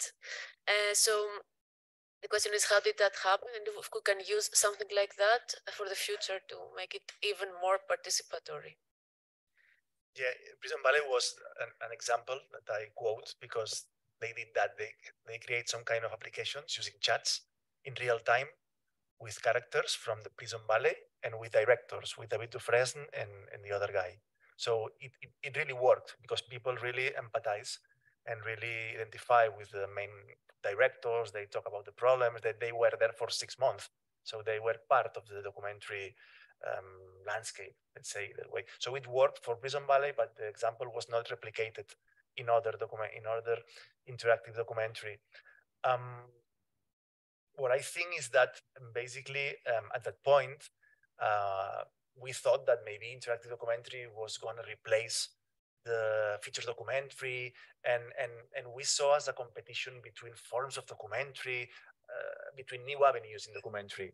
And i think it's not about competition. It's about um, it's about taking part together in the field no? So in the end a lot of people started to say interactive documentary doesn't exist. It's not a good format. It really kills feature documentary because you know there's a lot of people that is more like traditional and it's respect in that way so what I see is that um, interactive documentary, um, it won't work for the mainstream. I mean, for example, Netflix, etc., won't gonna produce interactive documentary in their, etc. But in some fields, especially in education, especially in museums, especially in anthropology, especially in in, in other in archive, it, it really works. It really works for specific purposes. And I produce interactive documentary in several experiences in the past, and I can prove this statement. But what we expect that interactive documentary gonna replace the traditional documentary, etc. No, the audiovisual documentary is still like the main, and it's in a very good moment of of, of health. Really, people is going are going to the to the cinema theaters. It's it's watching more than ever documentaries, true crime, for example, documentaries, etc on the streaming platform. So it's a very good moment for, for nonfiction and for documentary. But interactivity has a lot of problems. So basically, what we are asking me, but now it was not the topic of the day, but you are interested in, in this, I see four major problems in interactivity in general. But specifically in nonfiction, I see the role of the author. I mean, the director, for example, uh, has to control everything or not. Um, it's not the same to explain one story in a linear way, in which in the end you have a conclusion, that explaining eight stories the same way, and that you cannot control in which of the eight endings will finish the user and what idea in the end, because it could be eight ideas, but maybe for the author, this is not working or it could be stressful. From the view of the author, we are opening this view today with the new media, but the author has problems with that. The other thing is the business model. Who is paying the party? I mean, where's the money? In nonfiction, there's no money. And people, if you cannot see a revenue, then you have a problem. And interactive documentary, normally there's no revenue. It's coming from broadcasters that has a public funding and you are getting people from the tax, from the people, and you, you're investing, but you have no return. So in the end, it's very difficult to get high budgets to make very good projects well crafted in that way. And the other is who's watching? The audience. I mean, in the end, you have a, sh a share in TV, you have a, a, prime time in TV, you have in, in platforms, but one side which is not good displayed, which is not working very well, a bad distribution, we are premiering, but no one is there. Who is watching there? If you have no figures in, in, in audience, you have another problem. And the fourth problem, the other author, business model, and audience is, is preservation. I don't know if it is good in English, this word. See? It's digital preservation. What happens if Flash or a component falls and the 80% of the productions are not available anymore? So these four, these four problems to me are, are, are structural in interactivity in general and are problems that have to be faced and video games have resolved some of them. The author has very clear that this, this kind of a story, there's big business models like cinema, the audience is clear, there are gamers, there are a community behind, and the preservation is between uh, platforms, Steam, etc. In video games, it's working, but it's not the same. These kind of budgets that you manage in video games that in nonfiction. In nonfiction, we have a problem, but we have time and we are able to, to be to be able to, to but this to me, these four problems are measured in, in productions and especially when interactivity comes comes there.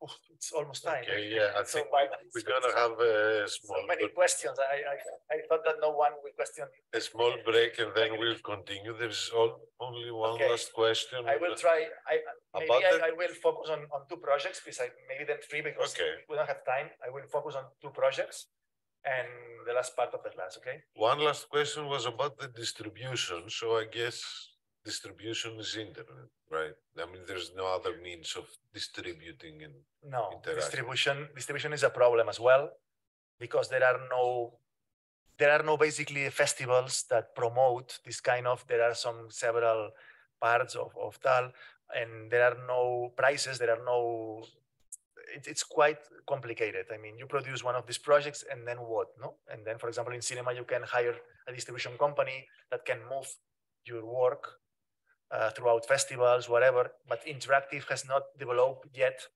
a big structure in terms of, of festivals in terms of recognition in terms of whatever so it's it's complicated can I add only one sure. one thing that um, that uh, actually proves your your answer that there there are some festivals that have selected some interactive documentaries part of the competition section or student section, etc.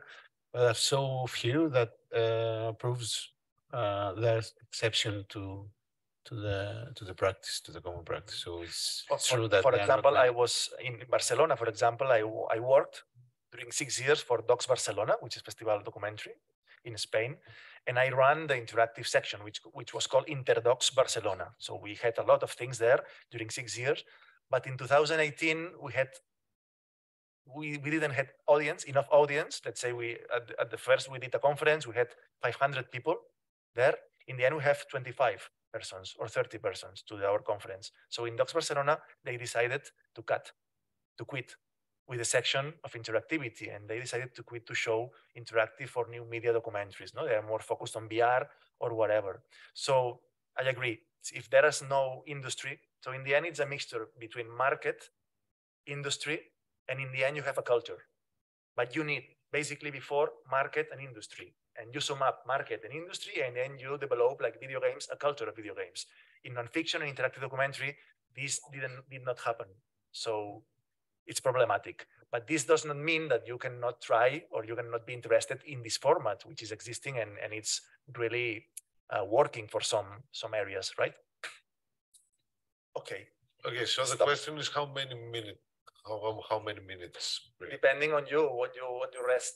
Uh, 10, 15 minutes, yeah? 10? Ten, Okay, so we'll be back in ten. Okay.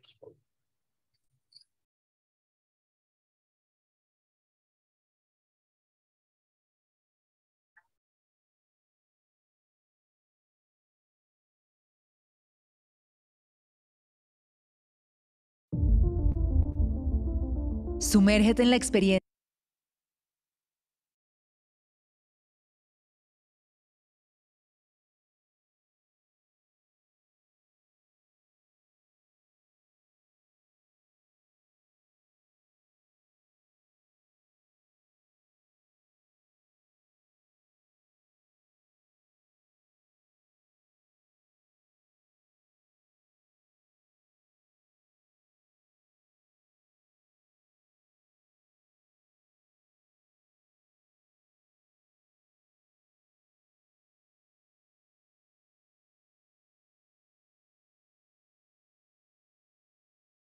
Pero ya puedes irse como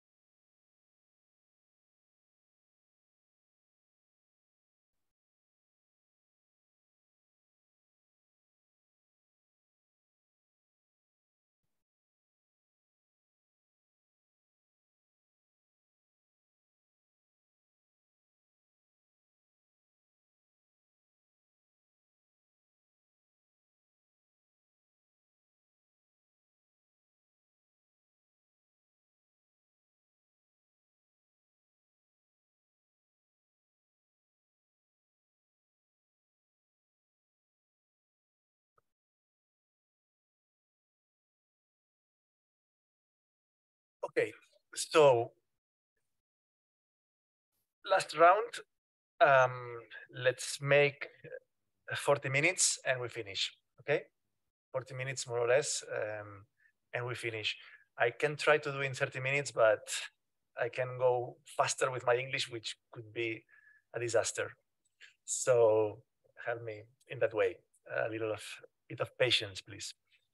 Um, great. So um, what we were asking me before, I, as far as I understood, is that um, when I was um, research affiliate um, at MIT, Open Documentary Lab, I was research affiliate for five years, and in the end of my time there, we were answer, we were questioning um, what happened sometimes if the technology failed, and afterwards Flash failed, and then after I just um, I, when I was out after I went out from the MIT Open Documentary Lab, they started this project, which is called the DocuBase. The DocuBase has um, 423 projects of uh, called um, expanded documentary.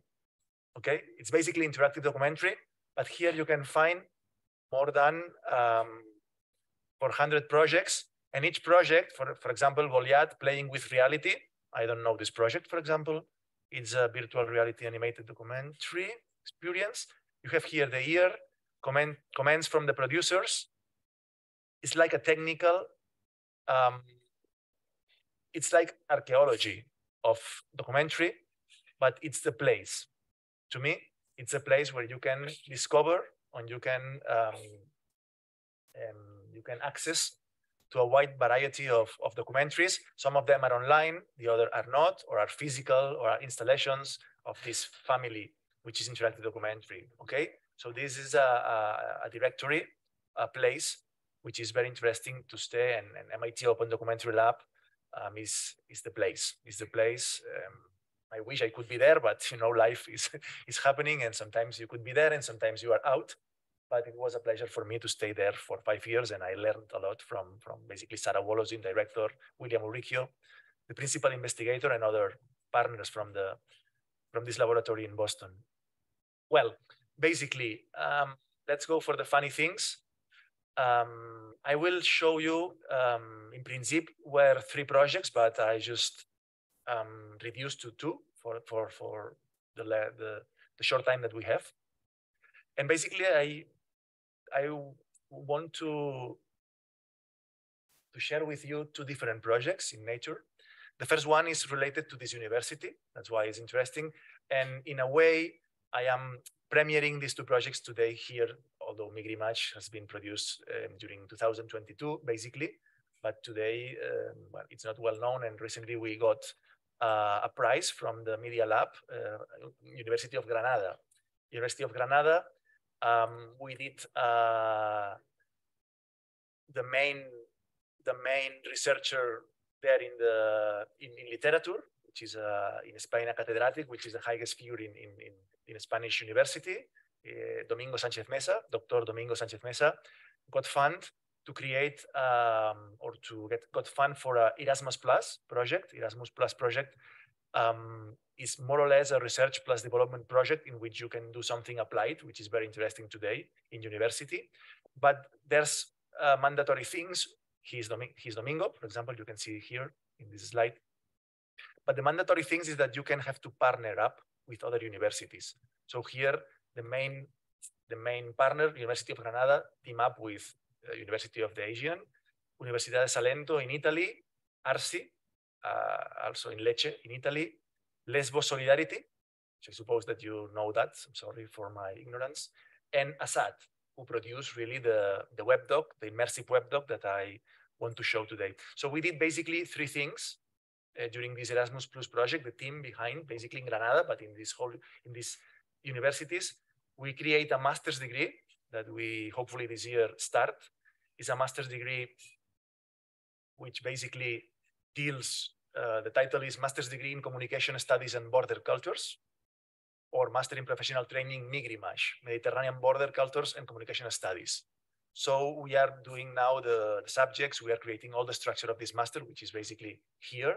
All the parts sh should help to improve this this this knowledge about frontiers, immigration, borders, etc. We create a MOOC. We are creating a, this kind of online online massive course for everyone, and we create the web doc and the school, which is to me the most interesting things. We create this web doc game, skateboarder. We come back to the game again, to the format of the game, of course. A web doc game on the southern border um, from three specific places, basically the south of Spain, south of Italy, and uh, the Aegean Sea and this part of the wall between Turkey, Greece, etc. Okay, so here we you have all the information. We create didactic guides as well, footage festival um, for for taking for this kind of uh, migrage that we want to create. Uh, we are accepting practices as well. Uh, well, a lot of content that we create. And basically today, what I want to show you a little bit is besides the school, um, there's a project that really um, helped to spread the word of this. So we create this project, basically the five partners, but as well uh, Assad. We create this project um, using Unity, which is a, a very complicated engine for creating basically video games, but as well for anything that, that could be everything that could be immersive, etc.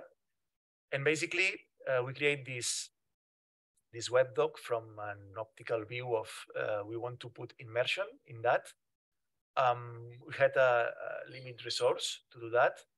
And basically, what we wanted to do is in a collaborative way. I mean, we asked to different partners that, that they basically shoot footage in terms of like Alexandros, for example, and students, and they were in charge of, of doing this, this task. And of course, the footage is, the weight of the footage is, is quite impressive inside, but hopefully you can see the result. If don't, I have a, a video capture. But uh, two hours ago it worked. So I think that worked. So the, the video game, we did this kind of introductory video. The idea is to seduce the user. So I basically... On the count of 10, you will be in Europa. Say, one.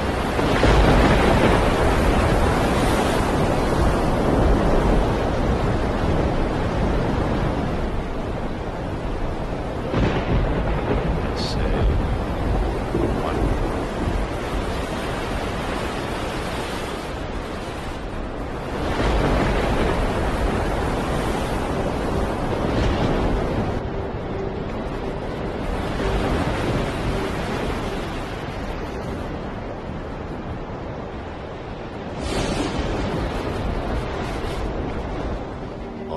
Count of 10, you will be in Europa. Be there at 10. I say 10. This is the luxury video of the project. Then I can just skip if, if I want, but then I just um, go directly to the map. Here all the partners. And then this was our first project, Immersive. So there are three parts, basically. There are uh, settlements, there are refugee camp, and there are a border school. So basically, these three parts are two uh, migration camps and the border school. The border school is the place in which we can go for the resources, basically. Um, it's immersive, so I can move around. And here we connect with the website, with websites, HTML websites, external, in order to be able to, to find some some content, right? We have audiovisual practices, didactic guides, cinema fest, and collectives. Well, audiovisual practices, I go here and I can access, I can go out the website and open a new tab and I can go to the specific place in which I can access to the, uh, sorry, for example, I have school training practices and I have several presentations, for example, several content that I can use in several fields.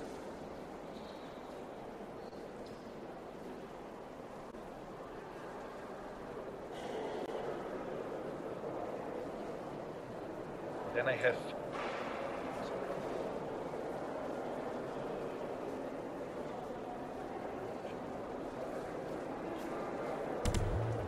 didactic guides, which was another part which is interesting. So we did guides, and I think they are in Spanish, they are in English as well. And there are several guides that I can just access here. And basically, we have several collectives that are just um, very interested in that kind of, of narratives as well and kind of topics. So we had some kind of brochure of different parts um, in Genially, which is another software which is connected to this one. Genially is a HTML software that allows to make things interactive without code, basically. But um, besides this kind of resources, which uh, Erasmus Plus project uh, must need, we have the stories. We have the narrative behind. Um, for example, um, where do you prefer to go to to Mamadou or with Narges? Mamadou, Narges. Well, ladies first. Let's go with with Narges. We have a description. 22 years old, lived in Kabul and was interpreter for a foreign news company. He explained the context when the Taliban affair basically arrived by plane to Istanbul and there began a journey to hell, as she describes. She has seen the violence in Moria camp in Afghanistan, and basically um, here we get this zoom that you're gonna see. We're gonna enter, we're gonna go inside. It needs some time because you know it's immersive, it's, it's, it's really weight the content, but hopefully will work.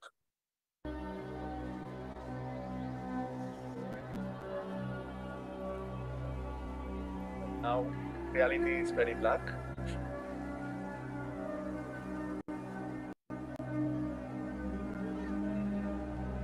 Stay down. We have some kind of animation. Stay calm.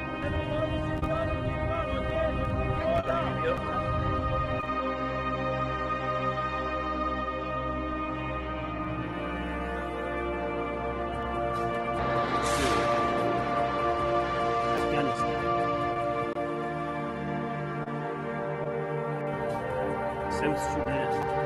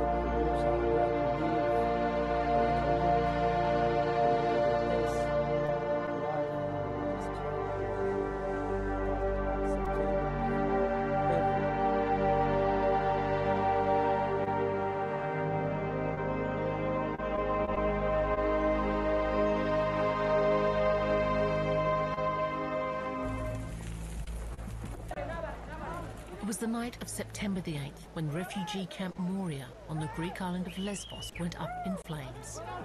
The fire was probably started by people driven by just one wish to get out.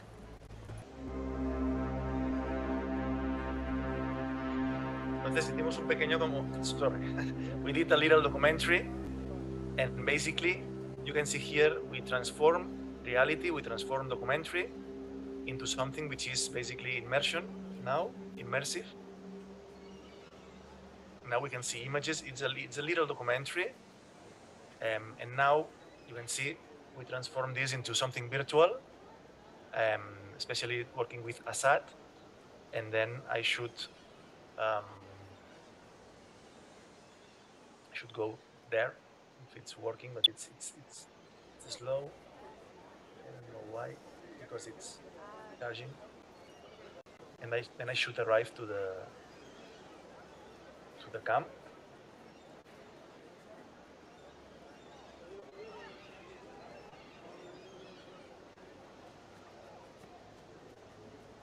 Let me see. if I can something because it's not.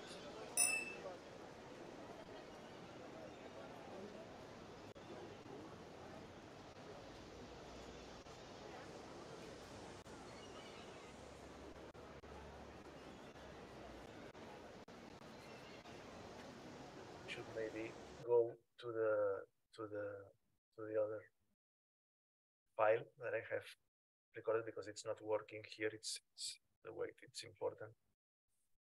All right, let me, let's give another try.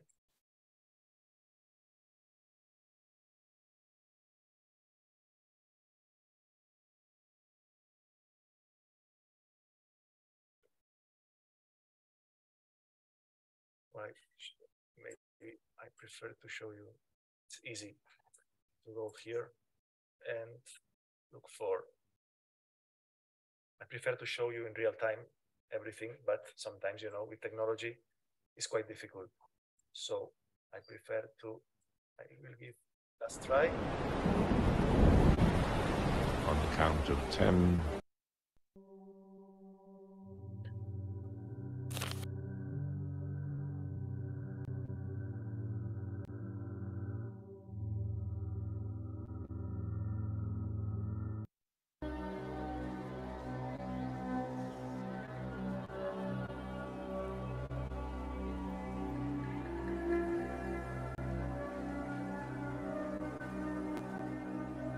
Stay down, stay calm. Okay. Seems seems that here we go. So we are approaching the the, the camp. Then the the journey really starts, in which I will. Um, here we transform this idea of documentary, of linear documentary, of audiovisual footage, into something um, games strategies behind. And then i'm just um, here was difficult to to create this kind of 3d environment to put inside unity and to make it um, to create some kind of a game. So we're gonna enter we're gonna go to the to the entrance of the facility. And now i'm Vangelis see sorry and now I have to start with the finding you know especially where and where is this this sorry. I just to mark using a button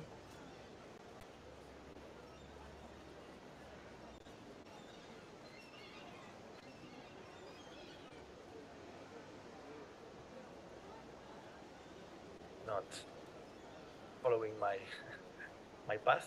And the idea is, it's an, only an example, but the idea is to go through the little by little, step by step. That's why I wanted to show you using the video. It's better for the presentation. And step by step, there's a basic needs there's some supplies that you have to obtain, and it's with patience that you have to go forward. And I will do the first, now the first part of the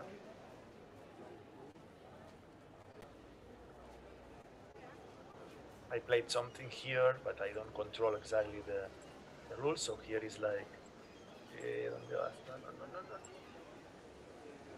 So here is like the where I have to go.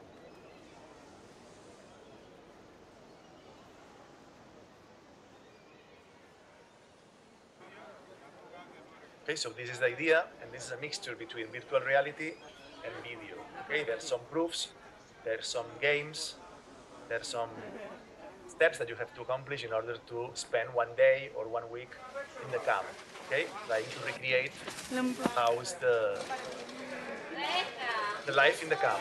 Okay, summing up, project is bigger, but this is the idea. We have to make some arrangements, some improvements to the project because, as you can understand, it's very complicated to create this kind of 3D environment to make this immersive, which is another part of the of the project. But I mean, we we spend some resources on that. So here is like the what you have to do, like the different find out what Moria is, find a cram, who will tell you what Moria was like in the past. You have here a map, and basically you have to move around and meet other people and, and etc. Okay, so this is the first step of the project Escape Europe. Normally, a research plus development project don't have projects like this, but in this case, we are like um, working on that and trying to improve the project because it needs a user um, a user test now and to make some changes in the way we navigate and we and we use it. But I think that it's a good first approach to the problem here, although it's a weight project, it's difficult to advance sometimes, and that's some things that need to be need to be improved. Okay? Great. This is one project, and I remember it's part of a larger transmedia project. It's not only the web doc, it's the master's degree and the, the massive online course, the MOOC, that we developed in this in this Erasmus Plus D project in which the Aegean University was one of the partners. And the other project that I want to share with you today is um, this project. Um, it's has been on air for the last, I think, has been premiere has been the premiere was four months ago, I think, and now we presented to a Media Lab prize at the University of Granada, academic prize, and we won this prize from the Media Lab. So, so it's a prize for the whole university and project. And the idea is to improve the project in order to be able to present to another festivals and another um, another uh, obtain another recognitions. The other project um, is another one. Um, I started working when I finished my audiovisual studies in, in Autonomous University in Barcelona 20 years ago. I finished my, my studies in audiovisual and then I started working for a for a local TV called 25 Television. I had my idea of creating an educational television of quality, and that was not the case, but I learned a lot in that first, during three years, from 2000 till 2003. I worked there as technician, as producer, as um, cameraman, etc., all of things. And then I stopped. I, I restarted studying at Pompeu Fabra University, several post degrees and a doctoral, doctoral studies. And when I finished in, in um, University of Pompeu Fabra, I started working two years for uh, Catalan Television, which is Autonòmica, Autonomical Television in, from Catalonia. It's called TV3. I worked two years making the teletons from a marathon. Marathon uh, works with diseases, with um, basically uh, several important diseases. So here, for example, um, you can see uh, an example of that production of that time. Um, so during those two years, 2013, 2014, I worked doing the teleton of the marathon. Specifically, we did the, the interactive proposals, the interactive projects for this teleton. Um, the first year was neuro, neurodegenerative diseases.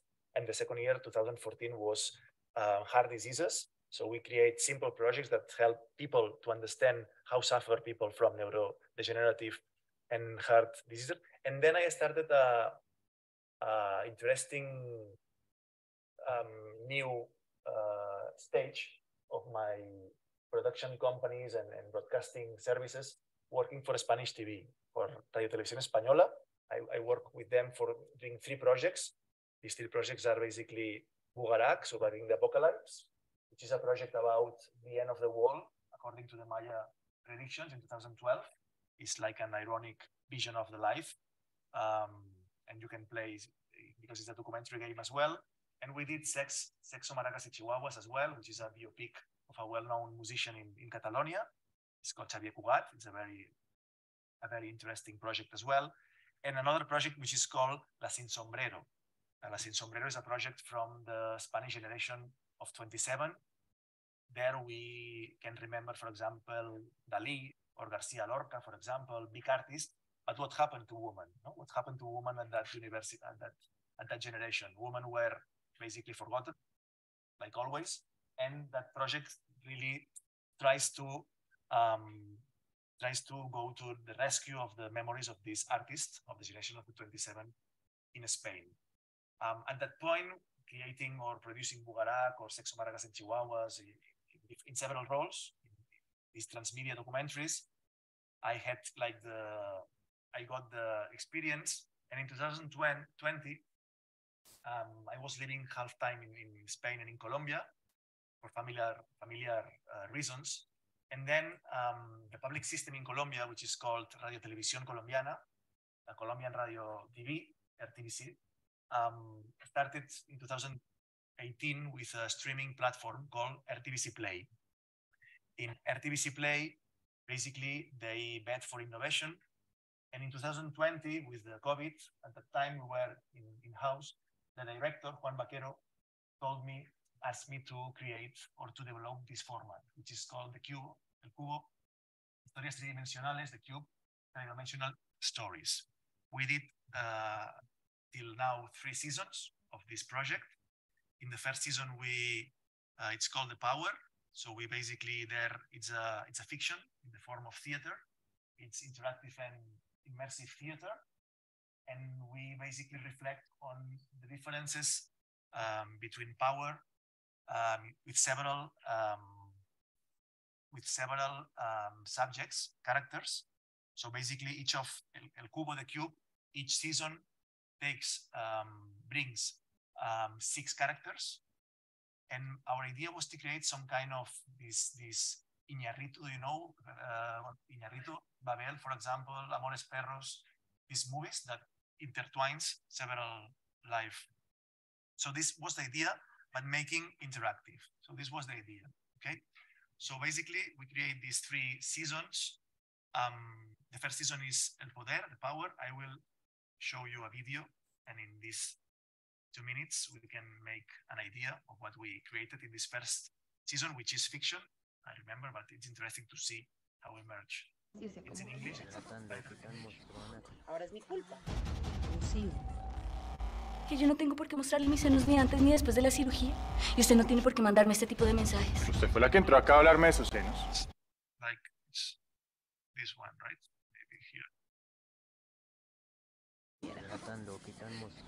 Ahora es mi culpa. Que yo no tengo por qué mostrarle mis senos ni antes ni después de la cirugía. Y usted no tiene por qué mandarme este tipo de mensajes. Usted fue la que entró acá a hablarme de sus senos. ¿Qué?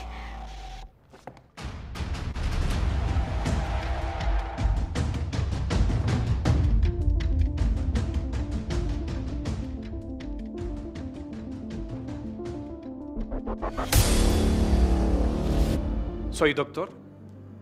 Huelo muy bien. Doy esperanzas. Calcificaciones intracraneales. ¿Le dijo eso? ¿Para qué lo hace? Le estoy demostrando. Escribo lo que pasa.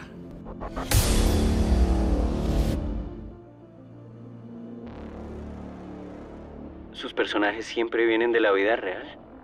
Desde que están escritas. ¿Y usted es uno de sus personajes? Tal vez la niña de nueve años que escribió un cuento. que su profesora le obligó a romper. Aquí está. Voy, voy, voy a ahorrar.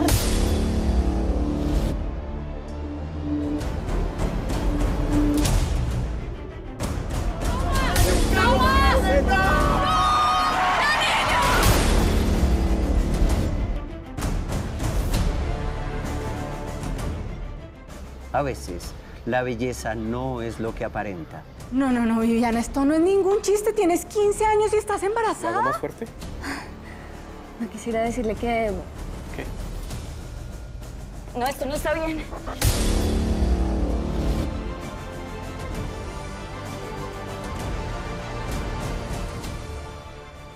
Aquí pueden ver por lo que llamé.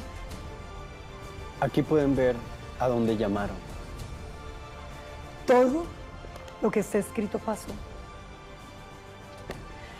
Y por desgracia para alguien, pasará.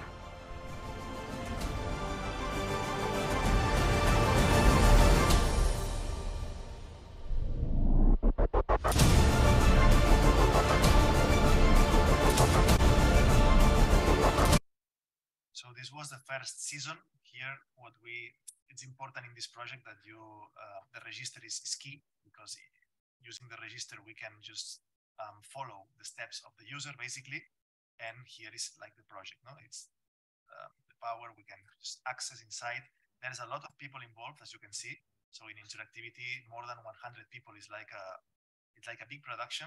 Um, directed by Juan Vaquero, which is director. My role here is the director of interactivity and design and script. And basically, the structure is I will not register now because we have some problems dealing with here. And I have six. We have this kind of onboarding, which is help in order to do things. And basically, as you can see, we have six characters. For example, Alba has a problem because he wants to eat uh, her breasts, for example. So he says um, that she's always Lo que más admiran y desean de mí son mis senos. her breasts, but Lo que más me incomoda people hate son mis senos. her breasts as well. So we can choose, for example, Alba, and then we have three modes. Okay, so each mode is one way different. Here we have the chronological time of, of Alba, but for example, in the labyrinthic mode, we have more than 300 connections. It's like like the subground, like the subway. You have connections between, and then you can go creating your own cube, creating your story. No, so for example, so short videos of three minutes. Este fin de semana no puedo That's the salir moment in which the doctor just evaluates in order to to being able to make the surgery surgery to the and there's this kind of moment in which they are like is there like Sí, a eso me refiero. as you can see it's a theater so we use actors real actors Voy a tocarte abajo para aumentar el flujo sanguíneo. time in the medium of COVID Abre. were very problematic at that point to create we create this kind of moment of climax that way which in the Yo end sigo, yo sigo, no te preocupes. the user has to decide if No, view no quisiera decirle que...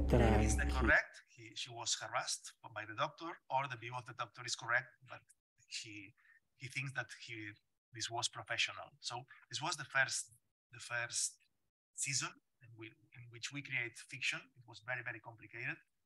In the second in the second in the second season, we create El Inquisidor. It's a it's a fiction series, but it's gam- it's gamified. This is the difference here. So basically, here you have a control panel. We put gamification, and it's about a series that it's killing women basically, and the user has to discover who the killer is, basically who the murderer is. but here it's important that you register um, because if you are not able to register, you basically you cannot access access to the interactive mode in which you can access to uh, I repeat to a to a panel of control in which you can have, you have a ranking, you can unlock uh, strategic content, etc. So this was the second, but today um, we are analyzing nonfiction, and this this next weekend on on Sunday, although it's online several weeks ago, we are we are launching this three season, which is called um, sorry, which is called uh, Ways of Jor- Ways of Jordan, Caminos de Jordan. And basically here what we did is to create an interactive documentary, which was the topic of the day. And basically we selected the the little village in, in the here in the in Colombia, Jordán Sube. So we create this kind of montage, creating some kind of postcards. So it's in it's in Spanish, but I can tell you. Welcome to Jordán Sube. It's a village with people who resist and not live. Jordan was at, the moment a good village, but now is in a fragile reality, living in a fragile reality. Um, one point, they had 1,000 inhabitants travel with us to this place. And then we have the Cañón del Chicamocha, which is a mountain there, we can start the trip. Once we start the trip, we have a, a video, which is like the an introduction, a little introduction, which says that it's a very little and isolated village, Jordan. We are arriving to the to the with um, no inhabitants in the field, in the country field, basically. We record using drones and using um, during two months. And basically, once we get to the end of this introduction, we get to a map. There's an onboarding as well with uh, several steps and some tips in order that you are a tourist. No, that here the role is important in interactivity. So we establish the role, um, approaching to the story, etc.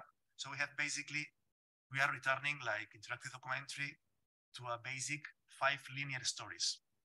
We are here interactivity is, is only like short history of the high, of the high rise. You can go deep, but it's not very like it's not very very strong. Okay. So for example, we can go to this. We have five characters. We can choose, for example, Diego, who is musician but have to work in the country field as well. So basically, they are um, short documentary films of 15 till 20 minutes. And basically, Me voy rumbo a mi vereda, me voy contento del pueblo a cumplir con mi labor. He vendido mis productos que con esfuerzo y esmero y el cariño de mis hijos cultivado en mi región. basically, I have four points here. I can just go here in order, and I have some content which is basically in, in a second in a second Duele. second layer. Now we can see one of them with, with his son. La historia le sucedió una Some content amiga. which is expanded. I can go deeper, basically, to another layer. Lamentablemente ahí es donde la cultura empieza pues a decaer un poco. Y qué lástima que no apoyen eso, que eso es de acá, de la tierrita. Es la música carreguera nació en Boyacá y afortunadamente ya está extendida. So basically, what we saw in the Que previews. tenía otro y fingía que estaba enferma. La casa. Once I just go back to the main stream of Diego, of the main video, I can see here that, for example, at any time, I can just come um, to the map, to the main map, and I can see that the Diego is completed. I have to complete the five, and then in the end, I have a, I have a, like a prize in the end, um, and a reward, which is basically, uh, well, if you want to navigate, you can discover. It's in Spanish. I don't know if you know Spanish, probably not very much, but it's worse because it's Colombian. So it's, it's, it's, it- Spanish is complicated, but Colombian is sometimes very complicated. But if you want to give a try, I prefer not doing a spoiler. And basically, you can see the stories are very, very, very nice. But I think that mm, getting to the end of the session, what we did in El Cubo, I prefer to have more time to, to, to because you know it's three years invested here. It's uh, it's around one million dollar invested here in three seasons, which is a lot of money for a for an interactive project for each season. Not not one one million, but we have three hundred around three hundred dollars, three hundred thousand dollars for each season, which is for me it's a dream to have this capacity of doing something like this. There are more things, there are more iterations, but the good thing here behind is that there is a big effort behind, and I want to finish with that um, little presentation, which are basically nine slides, in which you can understand basically what to me is more important today. I mean, there is a lot of things for me. Creating the cube, El Cubo, was a big challenge. I've never worked so hard in terms of script, in terms of um, design in terms of um, directing interactivity, because you know in the first season there's more than 500 um, interactivities. In the second one, we had to gamify 32 scenes, which were very difficult because I'm not expert in even we have to hire a expert in gamification in that way to gamify this interactive series.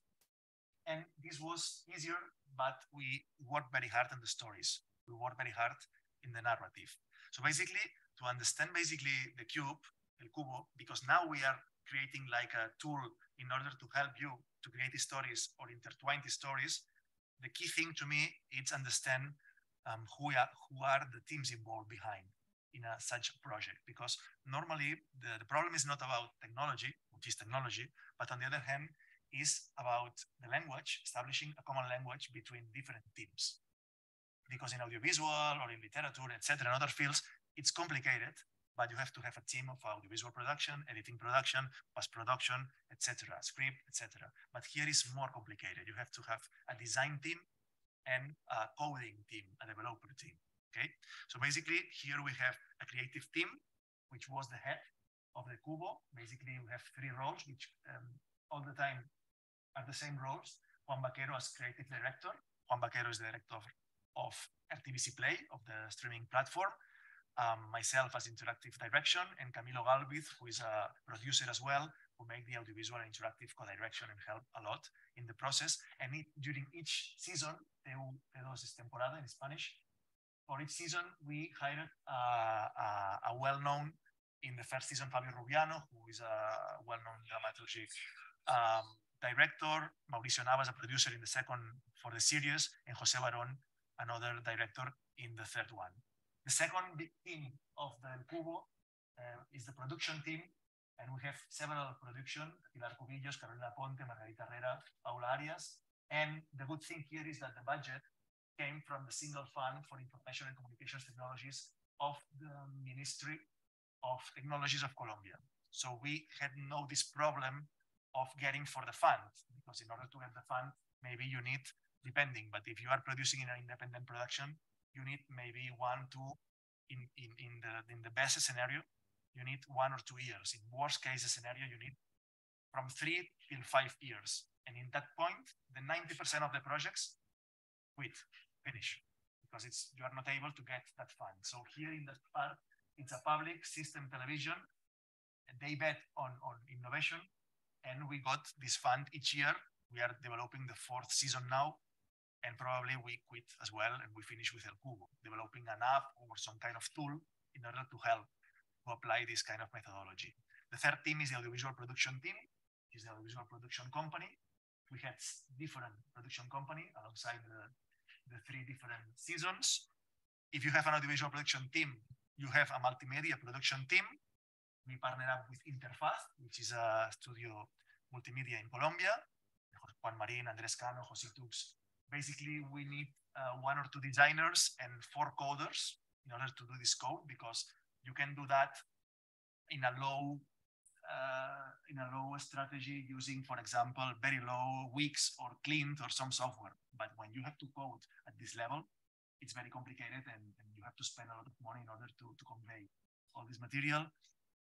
The five team involved is the social media team and, and marketing team from RTVC is an inside in-house team from, from the television, from the media public system television in Colombia.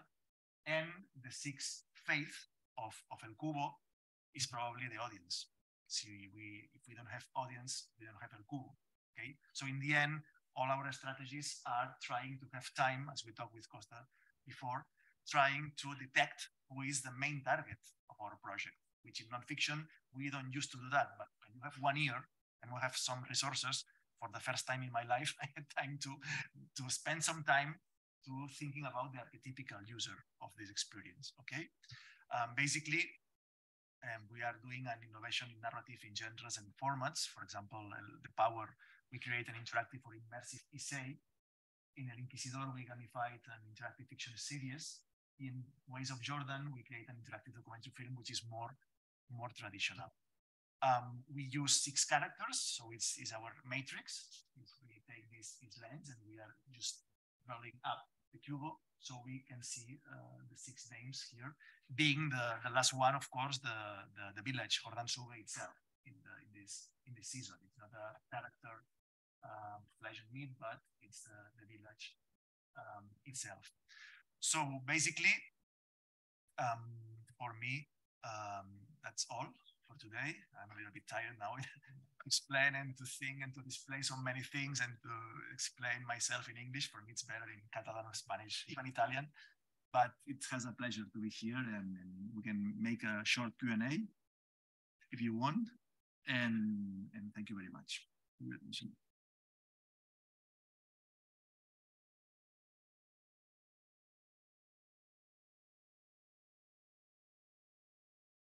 have five minutes. Yeah, five minutes. Sure. We don't, we don't have anything from the space. internet, so we can start from here. Start from the class. Sure. Thank you very much again. And your lectures are very fascinating. Um, I had the opportunity last night to look at Caminos de Jordan. Mr. Ivaliotis kindly Thank you. sent us the link. Um, I have a question. It's, um, as you mentioned, it's a more traditional approach. It's five linear stories of five characters, the, the farmer, the priest, the musician, the Uh-huh. fisherman, and so on. And you just follow them separately. Um, in a traditional documentary way, we would have two ways of approaching it. Either we make a mini series if we really want in depth in each character, or we make an intertwined documentary um, showing a, some kind of storyline with all the characters entwined. So my question is a little bit provocative. Um, I know you're in, in, in investigating a new format of storytelling, but you have invested a lot of time and effort and money to make the cube. What, in your view, is the added value in relation to a more classical way of presenting this?